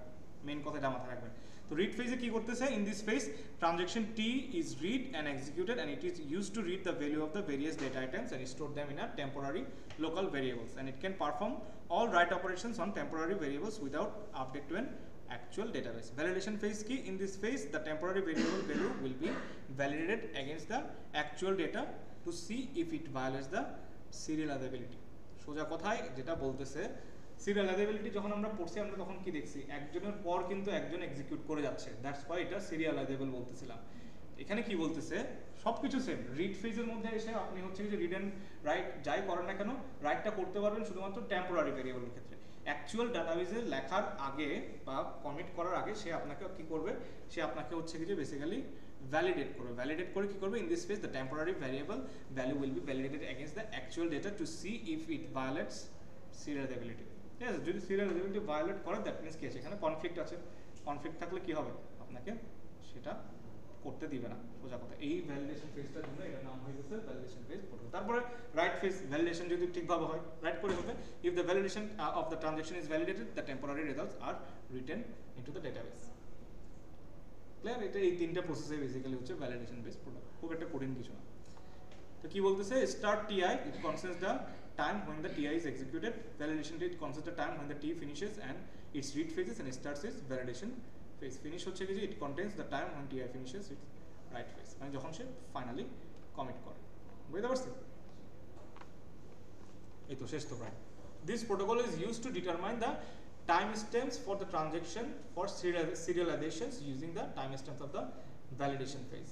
As it is actual phase which determines if the transaction will commit or back সোজা কথা সিরিয়ালাইজেবলের সাথে যদি আপনার এখান থেকে যে ভ্যালিডেশনে যে টাইম স্ট্যাম্পটা বের হয়, ওই টাইম স্ট্যাম্পগুলো যদি না মিলে, তাহলে তাকে কি করতে হবে? তাহলে আমরা সেটাকে ধরে নিব হচ্ছে যে ইটস এ ফেইল্ড ট্রানজ্যাকশন আর যদি ট্রানজ্যাকশন যদি দুটাই যদি মিলে যায়, তাহলে সেটাকে আমরা ফার্দার রাইট প্রসেসে নিয়ে যাব। এই যে জাস্ট ভ্যালিডেট করছে, এটাই হচ্ছে যে main idea hence TS of T equals হচ্ছে ভ্যালিডেশন টি মানে হচ্ছে যে ট্রানজ্যাকশনের টাইমটা ইকুয়ালস হচ্ছে যে ভ্যালিডেশনের time The serializability is determined during the validation process. It can be decided in advance. আমরা যে serializable অ্যালগরিদমগুলো করে আসছি ওইটা ডিটারমাইন করার জন্য কোনটার পরে কোনটা হবে সেটা ডিটারমাইন করার জন্য প্রপারলি আমাদেরকে কি করতে হবে অবশ্যই ভ্যালিডেশন প্রসেসে আসতে হবে আদারওয়াইজ আমরা সেই জিনিসটা কি করতে পারব না আগে থেকে বের করতে পারব না while executing the transaction it ensures greater degree of concurrency and also less number of conflict thus it contains transaction which have less number of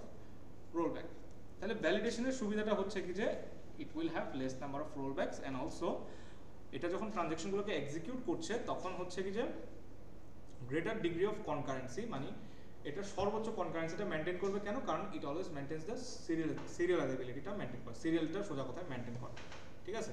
that's why এখানে কনফ্লিক্ট হবে না। আমরা সিরিয়ালাইজেবিলিটি যখন পড়ছিলাম আমরা কি করতেছিলাম? কনফ্লিক্ট কীভাবে হয় সেটা বের করার জন্য অ্যালগোরিদম পড়ছিলাম না? ওইটাই হচ্ছে কি যে এখানে এসে অ্যাপ্লিকেবল হবে। লাস্ট টপিক আমাদের ক্লাসের Thomas write rule Thomas write রুলটা কি? আবার আসতেছে serial Thomas write rule provides the guarantee of the serial order for the protocol সোজা কথায় it improve the basic time step ordering algorithm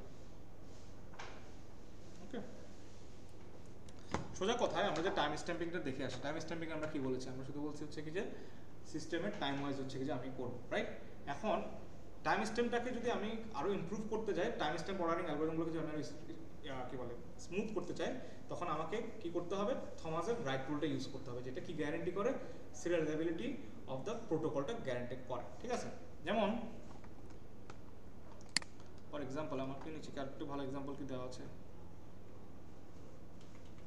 conflict জিনিসটা আগে বের করতে জানতে হবে দ্যাটস ইট কারণ কোথায় গেলে হচ্ছে কি বলতেছে? Transaction T and write transaction of X then the transaction T is aborted and roll back the operation is rejected আবার বলতেছে, আগের প্রসেসিংটা আবার আসতেছে যে transaction of T is less is less then write of transaction T then don't execute write item write the item operation of the transaction and continue the processing কি বলছি? বুঝতে বুঝতে পারছেন? আমি পরে দেন বোঝাচ্ছি দাঁড়ান if neither condition one or two occurs, then allow the transaction to write operation by the transactions, where obviously T of ts will be greater than ti আচ্ছা দেখ এখানে যেটা বলার চেষ্টা করতেছে, সেটা হচ্ছে কি যে, দুটো জিনিস আপনাকে খেয়াল রাখতে বলছে। প্রথম কথা হচ্ছে একেবারে একটু আগে যে আমরা একটা কন্ডিশন দেখছিলাম, সেই কন্ডিশন থেকে আসতেছে। যে আমি যদি একটা ট্রানজেকশন অফ টি নেই, সেটার যদি আমার প্রেসিডেন্স অর্ডারটা কার থেকে ছোট হয় রাইটিংয়ের ক্ষেত্রে যদি ছোট হয় ঠিক আছে? ইস্যু করার আগে আমার রাইট রিডটা হচ্ছে কি যে আমার এখন বড় ইস্যু করার সময়। তাহলে আমরা বলতেছি হচ্ছে কি যে, আমি এখন রিড করতে পারব না let us roll back and the operation is will be rejected আর যখন আমার রাইটটা হচ্ছে কি যে, বড় থাকতেছে অলসো আমাকে কি বলতেছে? যে তোমার এই এক্সিকিউশনটা হচ্ছে কি যে, কি করার দরকার নেই এখন? এক্সিকিউট করার দরকার নেই। Don't execute the write operation of the transaction and continue the processing তো আমাকে বল, আমাকে বেসিক্যালি দুইটা জিনিস খেয়াল করতে বলতেছে। দুই, দুইটা জিনিস বলতে কি যে, এই দুইটা জিনিস যে দেখো, ভালো করে খেয়াল করে দেখো, এখানে বলতেছে write transaction of T of X হচ্ছে এটা। দুইটার ক্ষেত্রেই দেখো, আমার যে ইস্যুইং ট্রানজেকশনটা দুজনই হচ্ছে ছোট রাইট এবং দুজনে ছোট হওয়ার কারণে আমরা দুই ক্ষেত্রেই কি বলতেছি? দুই ক্ষেত্রেই হচ্ছে কি যে, আমি ট্রানজেকশনটা রোল করাবো না। ভালো করে খেয়াল করে দেখো তো, এটার ক্ষেত্রেও হচ্ছে কি যে একটাতে তো অ্যাভোর্ড করে দিছে, আরেকটা বলছে কি এক্সিকিউট করার দরকার নেই। You should continue the processing as it is let us let them wait ঠিক আছে? তারপর বলতেছে কি if neither condition one and condition two occurs allow to execute the write operation by transaction I and set the WS to time stamp of বুঝছ? বুঝলেন নাই। মানে সোজা কথায় আচ্ছা এগুলো আসলে এক্সাম্পল দিয়ে না বুঝাইলে আপনারা মাথায় ঢুকবে না। বলতেছি একটা আপনারা আসেন আচ্ছা, আমরা একটু আরেকটু কি বলা যায় সুন্দর করে দেখি। Time stamp of T write তারপর কি বলতেছে? লেস দেন আমি এখানে নিচে লিখতেছি ঠিক আছে? Write time stamp of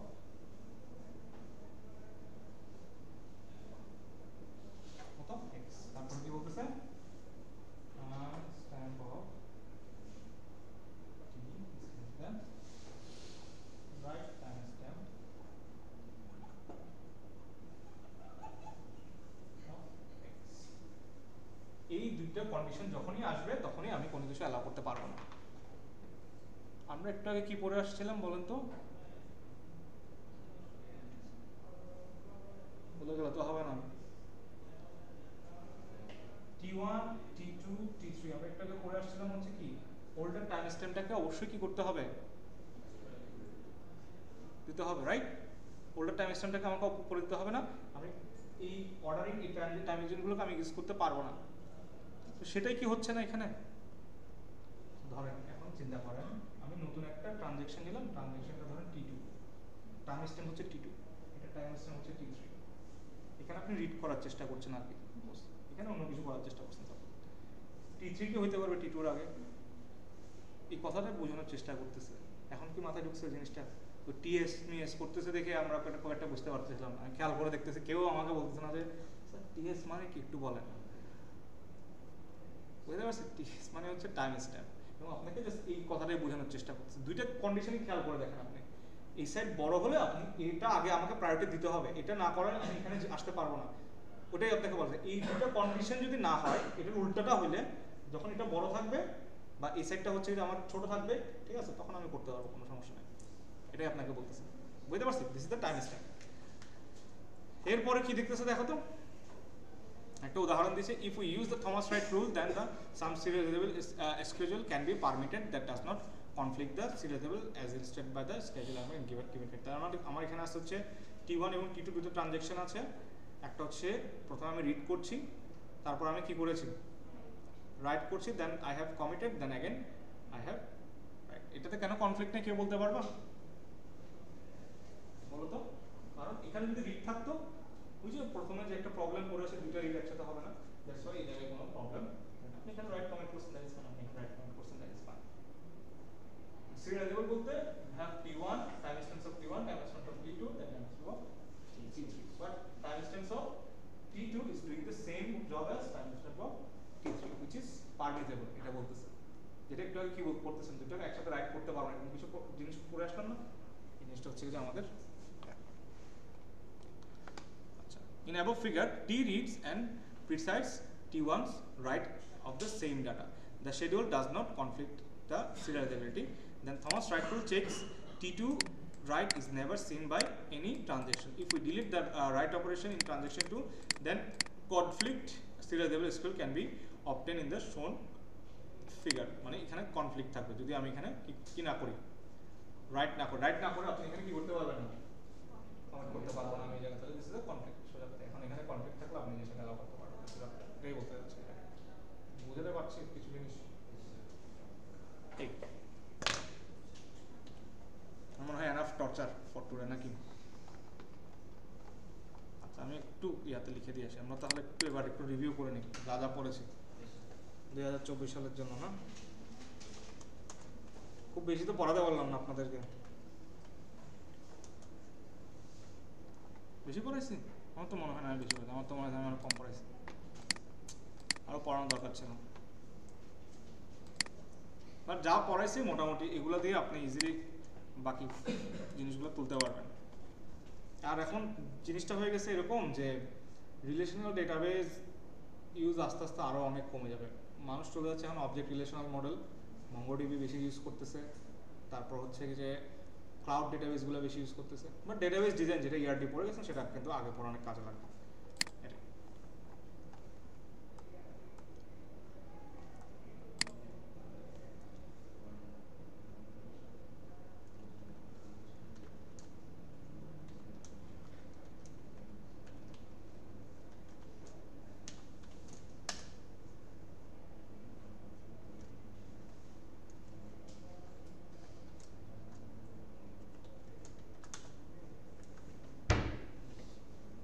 R number নিয়ে খুব একটা বিচলিত হওয়ার দরকার নাই। আমি এমনিতেও ফ্রি হ্যান্ড মার্কিং করি। কারও যদি নাম্বার নিয়ে কোনো প্রবলেম থাকে, আমার সাথে এসে যোগাযোগ করবে। ঠিক আছে? পারতো ক্লাসে যারা আসছেন, তাদের ফেল করার পসিবিলিটি কম। ক্লাসে না আসলে এক্সাম না দিলে হয়তো তখন সমস্যা হয়ে যায়। আর আমার কাছে এটা নিয়ে আসবেন না যে, স্যার, আমার তো মনে হয় আমি গ্রেড কম পাইছি। এই কমপ্লেনটা অ্যাটলিস্ট আমার কাছে নিয়ে আসবেন। আমার সাবজেক্টে কখনো আশা করি এ পর্যন্ত কেউ বলতে পারে না যে এক্সপেক্ট করছে বি প্লাস পাইছে বি মাইনাস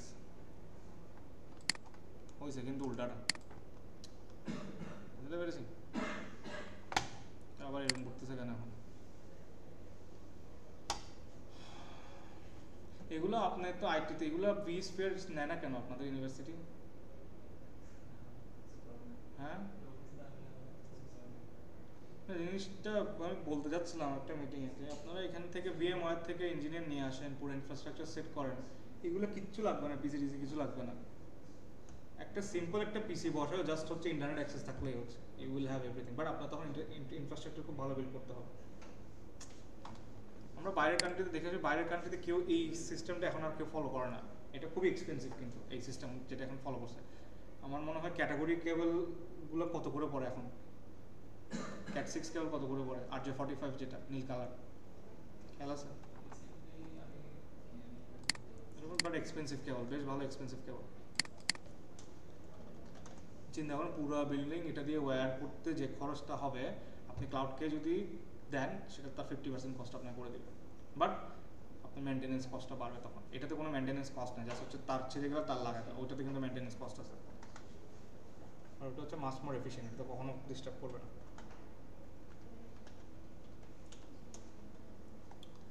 এখন এটা আসতেছে না কেন আবার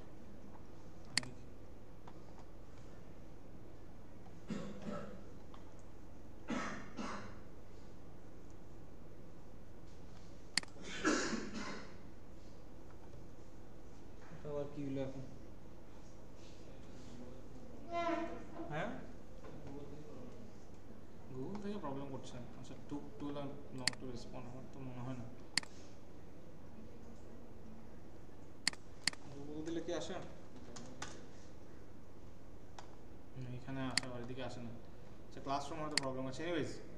আসল না করলে আমি এগুলো দেখাবো করতে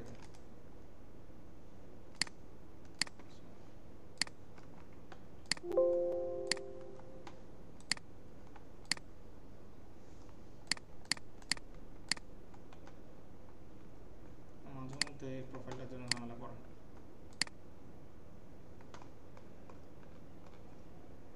এটা মনে হয় একটা নির্দিষ্ট সময় পরপর আপনারা লগ আউট লগ আউট করে দেন। এভাবে সেট করা রাইট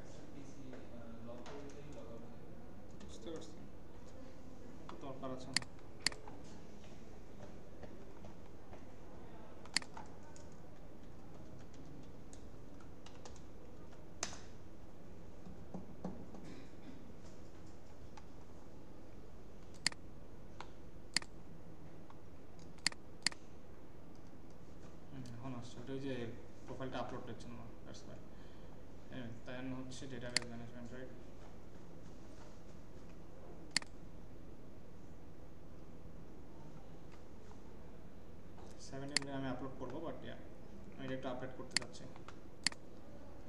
কী কী পড়ালাম আমরা? একটু খেয়াল করে বলি তো। Currency control log base protocol time stamp stamping terms write করলাম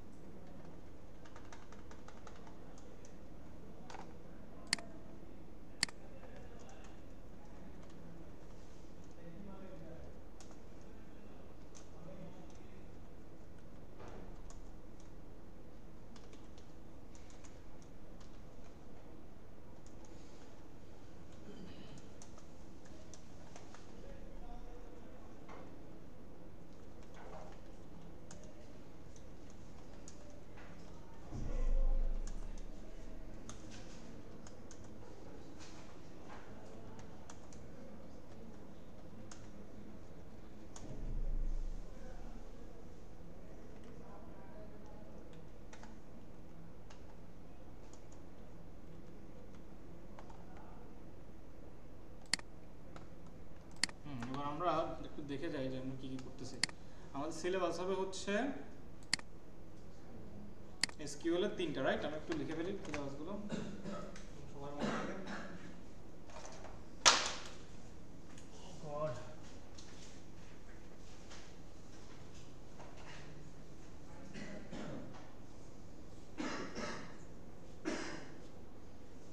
কি কি আছে প্রথমে আমাদের SQL 1 SQL 2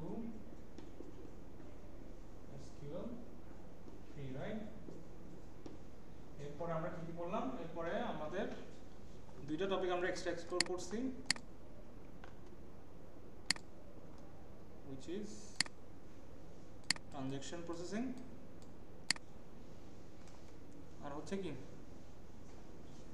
concurrency control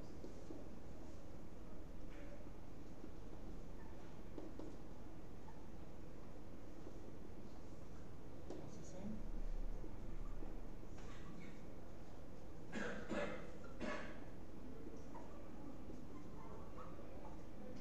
right তাহলে এক দুই তিন চার পাঁচ মাত্র পাঁচটা টপিক ব্যবহারিক রাইট সরি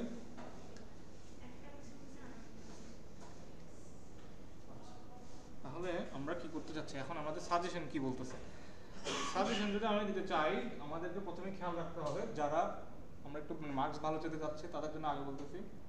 সো আমি যেটা চেষ্টা করব, পাঁচটা টপিক থেকে যেহেতু একটা দুটা এরা তো তিন দুইটা দুজন মিলে এক টপিকই তো এখান থেকে আপনার অ্যাটলিস্ট দুইটা কোশ্চেন থাকবে। কয়টা কোশ্চেন দুই থেকে দুটা কোশ্চেন তো মিনিমাম থাকবে। দুইটা কোশ্চেন থাকবে, এদের এখান থেকে বের হবে তিনটা কোশ্চেন বুঝতে পারছি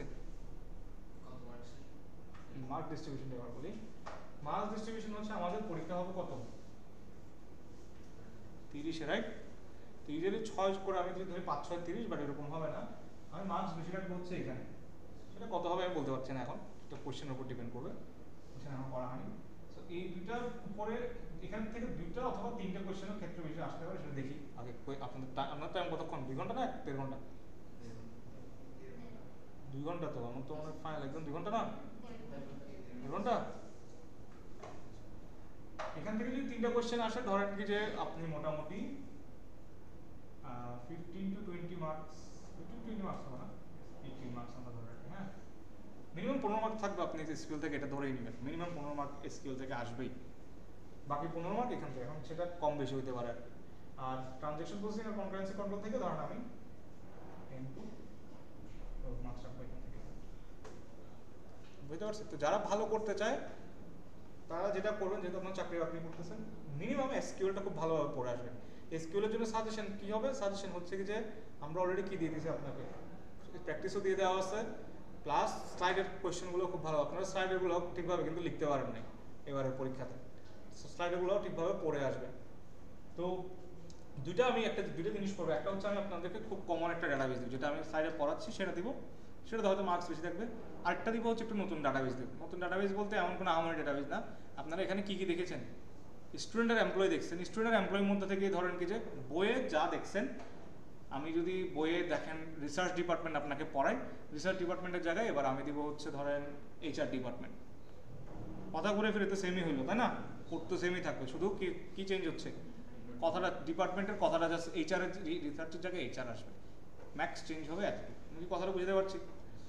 তাহলে ওইখান থেকে আমাদেরকে এটা একটু এসকিউলটা ভালো। আর যারা পাস করতে চান, যারা মনে করেন না, এগুলো আফসারা এগুলো দেখল আমার দ্বারা সম্ভব হবে না করারও দরকার নেই। অত সময় আমার কাছে নেই, ব্যবসাপাতি বেশি আমার। তাহলে এগুলো বাদ দিয়ে আমরা শুধুমাত্র এই আঠারো মার্কসের প্রিপারেশন নিলেও চলবে এসকিউএল ঠিক আছে? আর যারা ভালো করতে চায় তারা সবগুলো পড়ে আসবে সবগুলো থেকে কোশ্চেন থাকবে এসকিউএল পার্ট থেকে? আচ্ছা এসকিউএল আপনি ওই দিন বলতেছিলেন আমাকে কি থিওরি দেখলেন আমাকে বলেন তো এসকিউএল আমি আপনাকে গিয়ে বলছি ডিডিএল কাকে বলে ডিএমএল কাকে বলে, এরকম কিছু কি জিজ্ঞেস করেছি? আচ্ছা সেটা তো দোষটা তো আপনার, কিন্তু সেটা আপনি চালাচ্ছেন আমার উপর। এটা তো হবে না, তাই না? বুঝে শুনলে তো মেজাজ খারাপ হয়ে যায়। আচ্ছা আমি ওইটা আমি ক্লিয়ার করে দিই। না, হইতেই পারে, ওনার কনফিউশন হইতেই পারে। এটা তো সমস্যার কিছু না।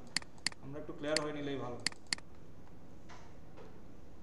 থিওরি বলতে আমি কি বোঝাচ্ছি আর আমি কোড বলতে কি বোঝাচ্ছি, আমি একটু আমার ডেফিনেশনটা আমি ক্লিয়ার করে রাখি। তাহলে মনে হয় আর কোনো কথাই থাকে না। আমি থিওরি বলতে বোঝাই হচ্ছে যে, যেমন এগুলো থিওরি না। কোনগুলো থিওরি না? এগুলো কখনো থিওরি না। যেমন আমি যদি আপনাকে বলি আচ্ছা ইন অপারেটরের জেনারেল ফর্মটা একটু লেখো তো। স্কেমাটা এখানে স্কেমা বলছে আর কি জেনারেল ফর্ম বলি আমরা। স্কেমাটা একটু লেখো তো। তো আপনি এটা লিখবেন। তিনটা আপনাকে আমি কোড লিখতে বলতে তিন লাইন লিখতে বলছি যে সিলেক্ট ফ্রম হোয়ার এখানে। এবার আপনি এক্সাম্পল দিলেও হবে এক্সাম্পল না দিলে আপনি ফোর মার্কস পাবেন। আর কোড বলতে আমরা কি বুঝাচ্ছি? একটা টেবিল দিয়েছি, একটা তাহলে এটা কিন্তু থিওরি আন্ডারে পড়বে না। বারবার এটা কিন্তু খেয়াল রাখবেন। এগুলো থিওরি মনে করে আবার এগুলো ফেলে যায় কেন? যেটা আপনারা এটা আগের এক্সাম পড়ে আসছেন। থিওরি কোনগুলো পড়ে? এগুলো হচ্ছে theory why working with views ঠিক আছে? What is view in SQL এটা কেন থিওরি আমি বলিনি? কারণ হচ্ছে আমি আপনার পরীক্ষায় আপনার কাছ থেকে জানতে চাইছি শুধুমাত্র এই দুটো ফর্ম আপনার ওটা লিখতে পারি না? কিছু বলি জাস্ট হচ্ছে এটা লিখতে পারল মার্কস থাকে সোজা কথা ঠিক আছে? এই ফর্ম টেবিল লিস্ট এসকিউএল এই দুটো থেকে যেকোনো একটা লিখতে পারল মার্কস পাবে। এবার ভিউ নেম দিয়ে যেটা আমাদের এখানে জেনারেল ফর্মগুলো আমাকে জানতে হবে। কারণ আমরা অনেকগুলো কোয়েরি কিন্তু এক্সপ্লোর করছি না। কোয়েরি কিন্তু অনেকভাবে এক্সপ্লোর করানো যায় আপনাকে।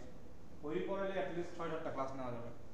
সে জায়গায় যেগুলো মিনিমাম যেগুলো দরকার, সেগুলো আপনাদেরকে এগুলোই আপনারা মোটামুটি রিয়েল লাইফ বলেন ইন্ডাস্ট্রিতে যান, এগুলোই মেনলি সবসময় ইউজ হয়, এগুলোই আপনাদের কাছে আসবে ঘুরে ফিরে। ঠিক আছে? এই জিনিসটাকে থিওরি হিসাবে নেবেন না আবার। আমার তো মনে হয় না থিওরি খুব একটা বেশি আছে ওরকম, আছে? যেমন এগুলো হচ্ছে থিওরি কোড রিলেটেড কোনো কিছু যদি জিজ্ঞেস করি that is not theory okay এই জিনিসটা আমাদেরকে একটু খেয়াল রাখতে হবে। আর থিওরি হচ্ছে এবার পিওর থিওরি যদি বলি, এগুলো হচ্ছে ফুললি থিওরি পার্ট এখন কোয়েশ্চেন কি ধরনের আসবে, সেটা একটা কোয়েশ্চেন থাকতে পারে ওইটা একটু দেখা দিই কোয়েশ্চেন কি ধরনের হতে পারে। যেমন ডিবিএমএস থেকে এখানের যে কোয়েশ্চেনগুলো আছে, আমি হয়তো আপনাকে ট্রানজ্যাকশন পুরোটা দিয়ে দিতে পারি, ঠিক আছে? দিয়ে দিয়ে হয়তো বলব যে এখান থেকে কি বলে? এটা কনফ্লিক্ট করে নাকি? এটা সিরিয়াজেবল নাকি? এটা বের কর। এটা একটা হয়তো বই হতে পারে। বাট আপনাদেরকে মিনিমাম একটা কোয়েশ্চেন আপনাদের হার্ড আসবে। হার্ড কোয়েশ্চেনটা আসবে থেকে ট্রানজ্যাকশন প্রসেসিং থেকে, যেটা আমরা পড়তেছিলাম। কি পড়েছিলাম যে অ্যালগোরিদমটা পড়েছি অ্যালগোরিদমটা আপনাকে আমি ইমপ্লিমেন্ট করতে বলব। একটা সিনারিও দিয়ে দিব সিনারিও দিয়ে দিয়ে বলব হচ্ছে আচ্ছা এটা এবারটা সলভ করো। এটা থাকবে শুধুমাত্র একটা কোয়েশ্চেন বাকিগুলো ম্যাক্সিমাম থিওরিতে আপনাকে জিজ্ঞেস করা হবে এটা কি এক্সপ্লেন করো? এটা কি এক্সপ্লেন করো? সোজা কথা। এর বাইরে আর তেমন কিছু ওইভাবে পেঁচানো হবে না। সো আপনি যদি আইডিয়া ঠিক রাখেন, কোনটা কি, সবগুলো যদি বুঝে আসেন, আপনি পরীক্ষার হলে ইজিলি লিখতে পারবেন। এমন কোনো কিছু দিও না যেটাতে আপনার নলেজটা অ্যাপ্লাই করতে হবে। নলেজ অ্যাপ্লাই করতে হবে শুধুমাত্র ওইখানে, কোথায়? টেস্টিং অফ সিরিয়ালাইজেবিলিটি এই যেটা জায়গায় আর হচ্ছে কনফ্লিক্ট স্কেজুল এই দুটো জায়গায় একটু কষ্ট করে দেখে আসতে হবে ঠিক আছে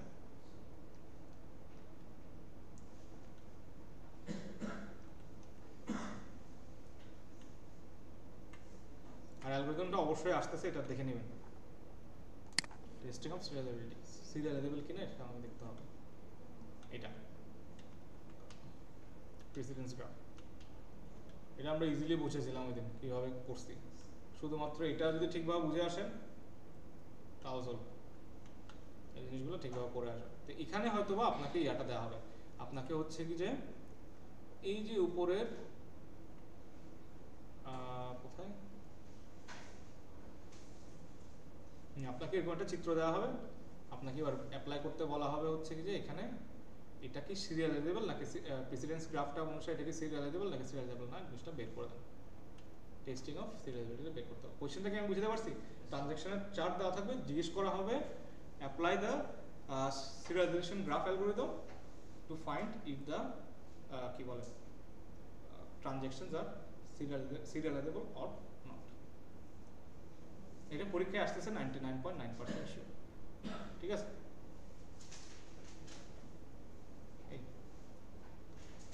এসকিউল থেকে কি আসবে? আমরা মোটামুটি শিওর হলাম কনকারেন্সি থেকে মেইনলি ওই কোনটা কি এক্সপ্লেন করুন। কোনটা কি এক্সপ্লেন করুন। এর বাইরে তেমন কোনো অ্যালগরিদম এখানে নাই। আমি তো ট্রানজেকশন প্রসেসিং থেকে কোনটা আসবে সেটা আমি বলে দিলাম আপনাকে এটা আসতেছে মোটামুটি শিওর আর কি কোনো কোয়েশ্চেন আছে এই নিয়ে? হ্যাঁ এসিড প্রপার্টিস মনে করা ভালো বুঝতে এটা তো সোজা এটাও আসবে হ্যাঁ এটার মধ্যেই আছে তো না মনে উনি মনে করতেছে ওনাকে এক্সট্রা দিয়ে দিয়েছে। এক্সট্রা নয় এটা কিন্তু এখানে আছে ট্রানজেকশন প্রসেসিং তে এসিড প্রপার্টিস আছে। ঠিক আছে। সরি স্লাইডে আচ্ছা স্লাইড আমি ইনক্লুড করব। এটা সহজ, এটা তো কঠিন কিছু না। অ্যাটমিসিটি কনসিস্টেন্সি আইসোলেশন আরটা কি? ডিউরেবিলিটি ইজি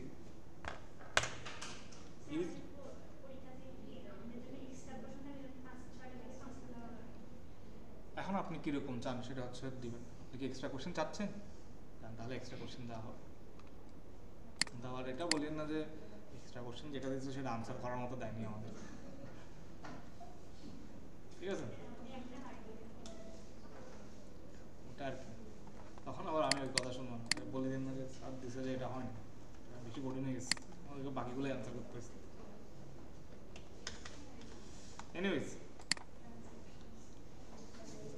আপনাদের আর কয় সেমিস্টার বাকি আছে শেষ করতে?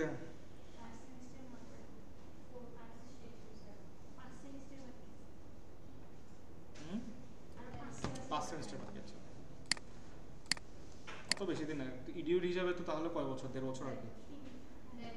দেড় বছর প্রায় শেষের দিকে তাহলে।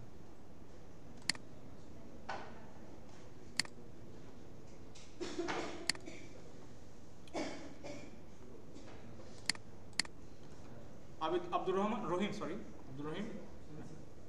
তারপর হচ্ছে কি যে অনেক দেয় রহিম সাহেব, আপনি রহিম না? আপনার নাম? আপনি মাঝে মধ্যে রাস্তায়, আপনাকে আমি দেখি। আমাকে দেখেন কিনা যায় না। আচ্ছা আমি কিন্তু মাঝে মধ্যে আপনার রাস্তায় দেখি। অনেক দে স্যার আমি স্যার বুঝতে পারছি স্যার হ্যাঁ বুঝতে পারলে ভালো সিরিয়াসলি স্যার আমি দেখিনি স্যার বুঝতে পারছি যাক যাক আসমানাই আসমিন তারপর হচ্ছে ইমন বড়ুয়া সীমান্ত ইকবাল হাসান রাকিব বুঝছেন তারপর হচ্ছে কাজী ইফতিসাম ওয়াসিফ তারপরে হচ্ছে কামরুল হাসান জাহিদ হোসেন ইফতি শহীদুল ইসলাম একটা কথা সবসময় মনে রাখবেন কেউ কম জানতে পারে বেশি জানতে পারে যেতে পারে। আপনার শিষ্টটা, শিষ্টাচার যেটাকে আমরা বলি, আপনার ম্যানার আপনাকে অনেক দূরে নিয়ে যাবে। কিছু কিছু জব ইন্টারভিউতে দেখবেন, যেমন আমরা খুব কম্পিটিটিভ কোম্পানিতে আমি ইন্টারভিউ দিয়ে আসছি। আমার সাথে যারা ইন্টারভিউ দিচ্ছে, সবাই কম্পিটিটিভে জায়গায়। সবাই, ধরেন কি যে আমরা সিমিলার লেভেলে সবাই ভালো। ধরুন, ওই সময় একটা রিক্রুটার কি দেয় একটা ক্যান্ডিডেটের মধ্যে। যা জিজ্ঞেস করছে, আমাকে পাঁচটা কোশ্চেন জিজ্ঞেস করছে, আমিও পারছি। ওকে পাঁচটা জিজ্ঞেস কোশ্চেন করছে, জিজ্ঞেস করছে, ও পাঁচটা কোশ্চেন পারছে। তাহলে আপনাকে আর ওর মধ্যে ডিফারেন্সিয়েট করছে কোন জায়গায়? কোথায় জানেন সেটা হচ্ছে আপনার সফট স্কিল যেটাকে আমরা বলি। আপনি আরেকজনের সাথে কীভাবে কথা বলতেছেন, আপনি একটা টিম এনভায়রনমেন্ট ঠিকভাবে কথা বলতে পারবেন আপনি আপনার বয়সের বড় বা আপনার সিনিয়রকে বা আপনার যে আপনাকে সুপারভাইজ করছে, তাকে আপনি রেসপেক্ট করছেন কিনা, এগুলোর উপর অনেক কিছু ডিপেন্ড করে। দেখা গেছে হচ্ছে কারণ ট্যালেন্ট জিনিসটা আমরা সবসময় যেটা বলি, কিছু কিছু মানুষ গড গিফটেড ট্যালেন্ট নিয়ে আসে দ্যাট এটা বাদ, এটা হচ্ছে কি যে আমি মনে করি একশো জনে হয়তো দুজন পায় বা তিনজন পায়, পাঁচজন পায়। বাকি সবার ট্যালেন্টটা হচ্ছে হার্ড ওয়ার্কিং আপনি হার্ড ওয়ার্ক করেন, আপনি এমনিতেই জিনিসগুলো পারবেন বাট ওই যে বললাম, শিষ্টাচার বা বাকি জিনিসগুলো, ওটা হচ্ছে কি যে আপনাকে করে নিতে হবে। ওটা যদি আপনার না থাকে বেশি দূর যেতে পারবেন না। ট্রাস্ট মি আপনাকে কেউই নেবে না। আপনি চিন্তা করেন এমআইটি হার্ভার্ড থেকে পাশ করা যারা আছে, এরা তো, এরা সবাই তো গুগলে জব পায় না। এরা সবাই তো ধরেন ভালো, বড় কোম্পানিতে জব পায় না। যারা এরোগেন্সি আছে, সে কোথাও জব পাবে না। এটা আমি ইন জেনারেল ওনাকে মিন করে বলছি না বা আমি ইন জেনারেল বলছি। আমাদের বাংলাদেশের স্টুডেন্টের মধ্যে জিনিসটা কমে যাচ্ছে। আমি আমার টিচারকে যেভাবে রেসপেক্ট করে আসছি, এখন নিউ জেনারেশন স্টুডেন্টের মধ্যে সেটা আমরা খুব কম দেখি। ওই ফ্লোটা এখন আর নেই। তারপর হচ্ছে মোবারক হোসেন। আসছে? আসে না সেই জন্য শিষ্টাচার সব জায়গায় বজায় রাখবেন। তারপর হচ্ছে ফারহান আক্তার। প্রয়াস ধর সাফান বিন রিদওয়ান। শরীফ শাহ। তারপর ইয়াসমিন আক্তার। ঠিক আছে? এটা আপনার জন্য অনেক কিছু ইজি করে দিল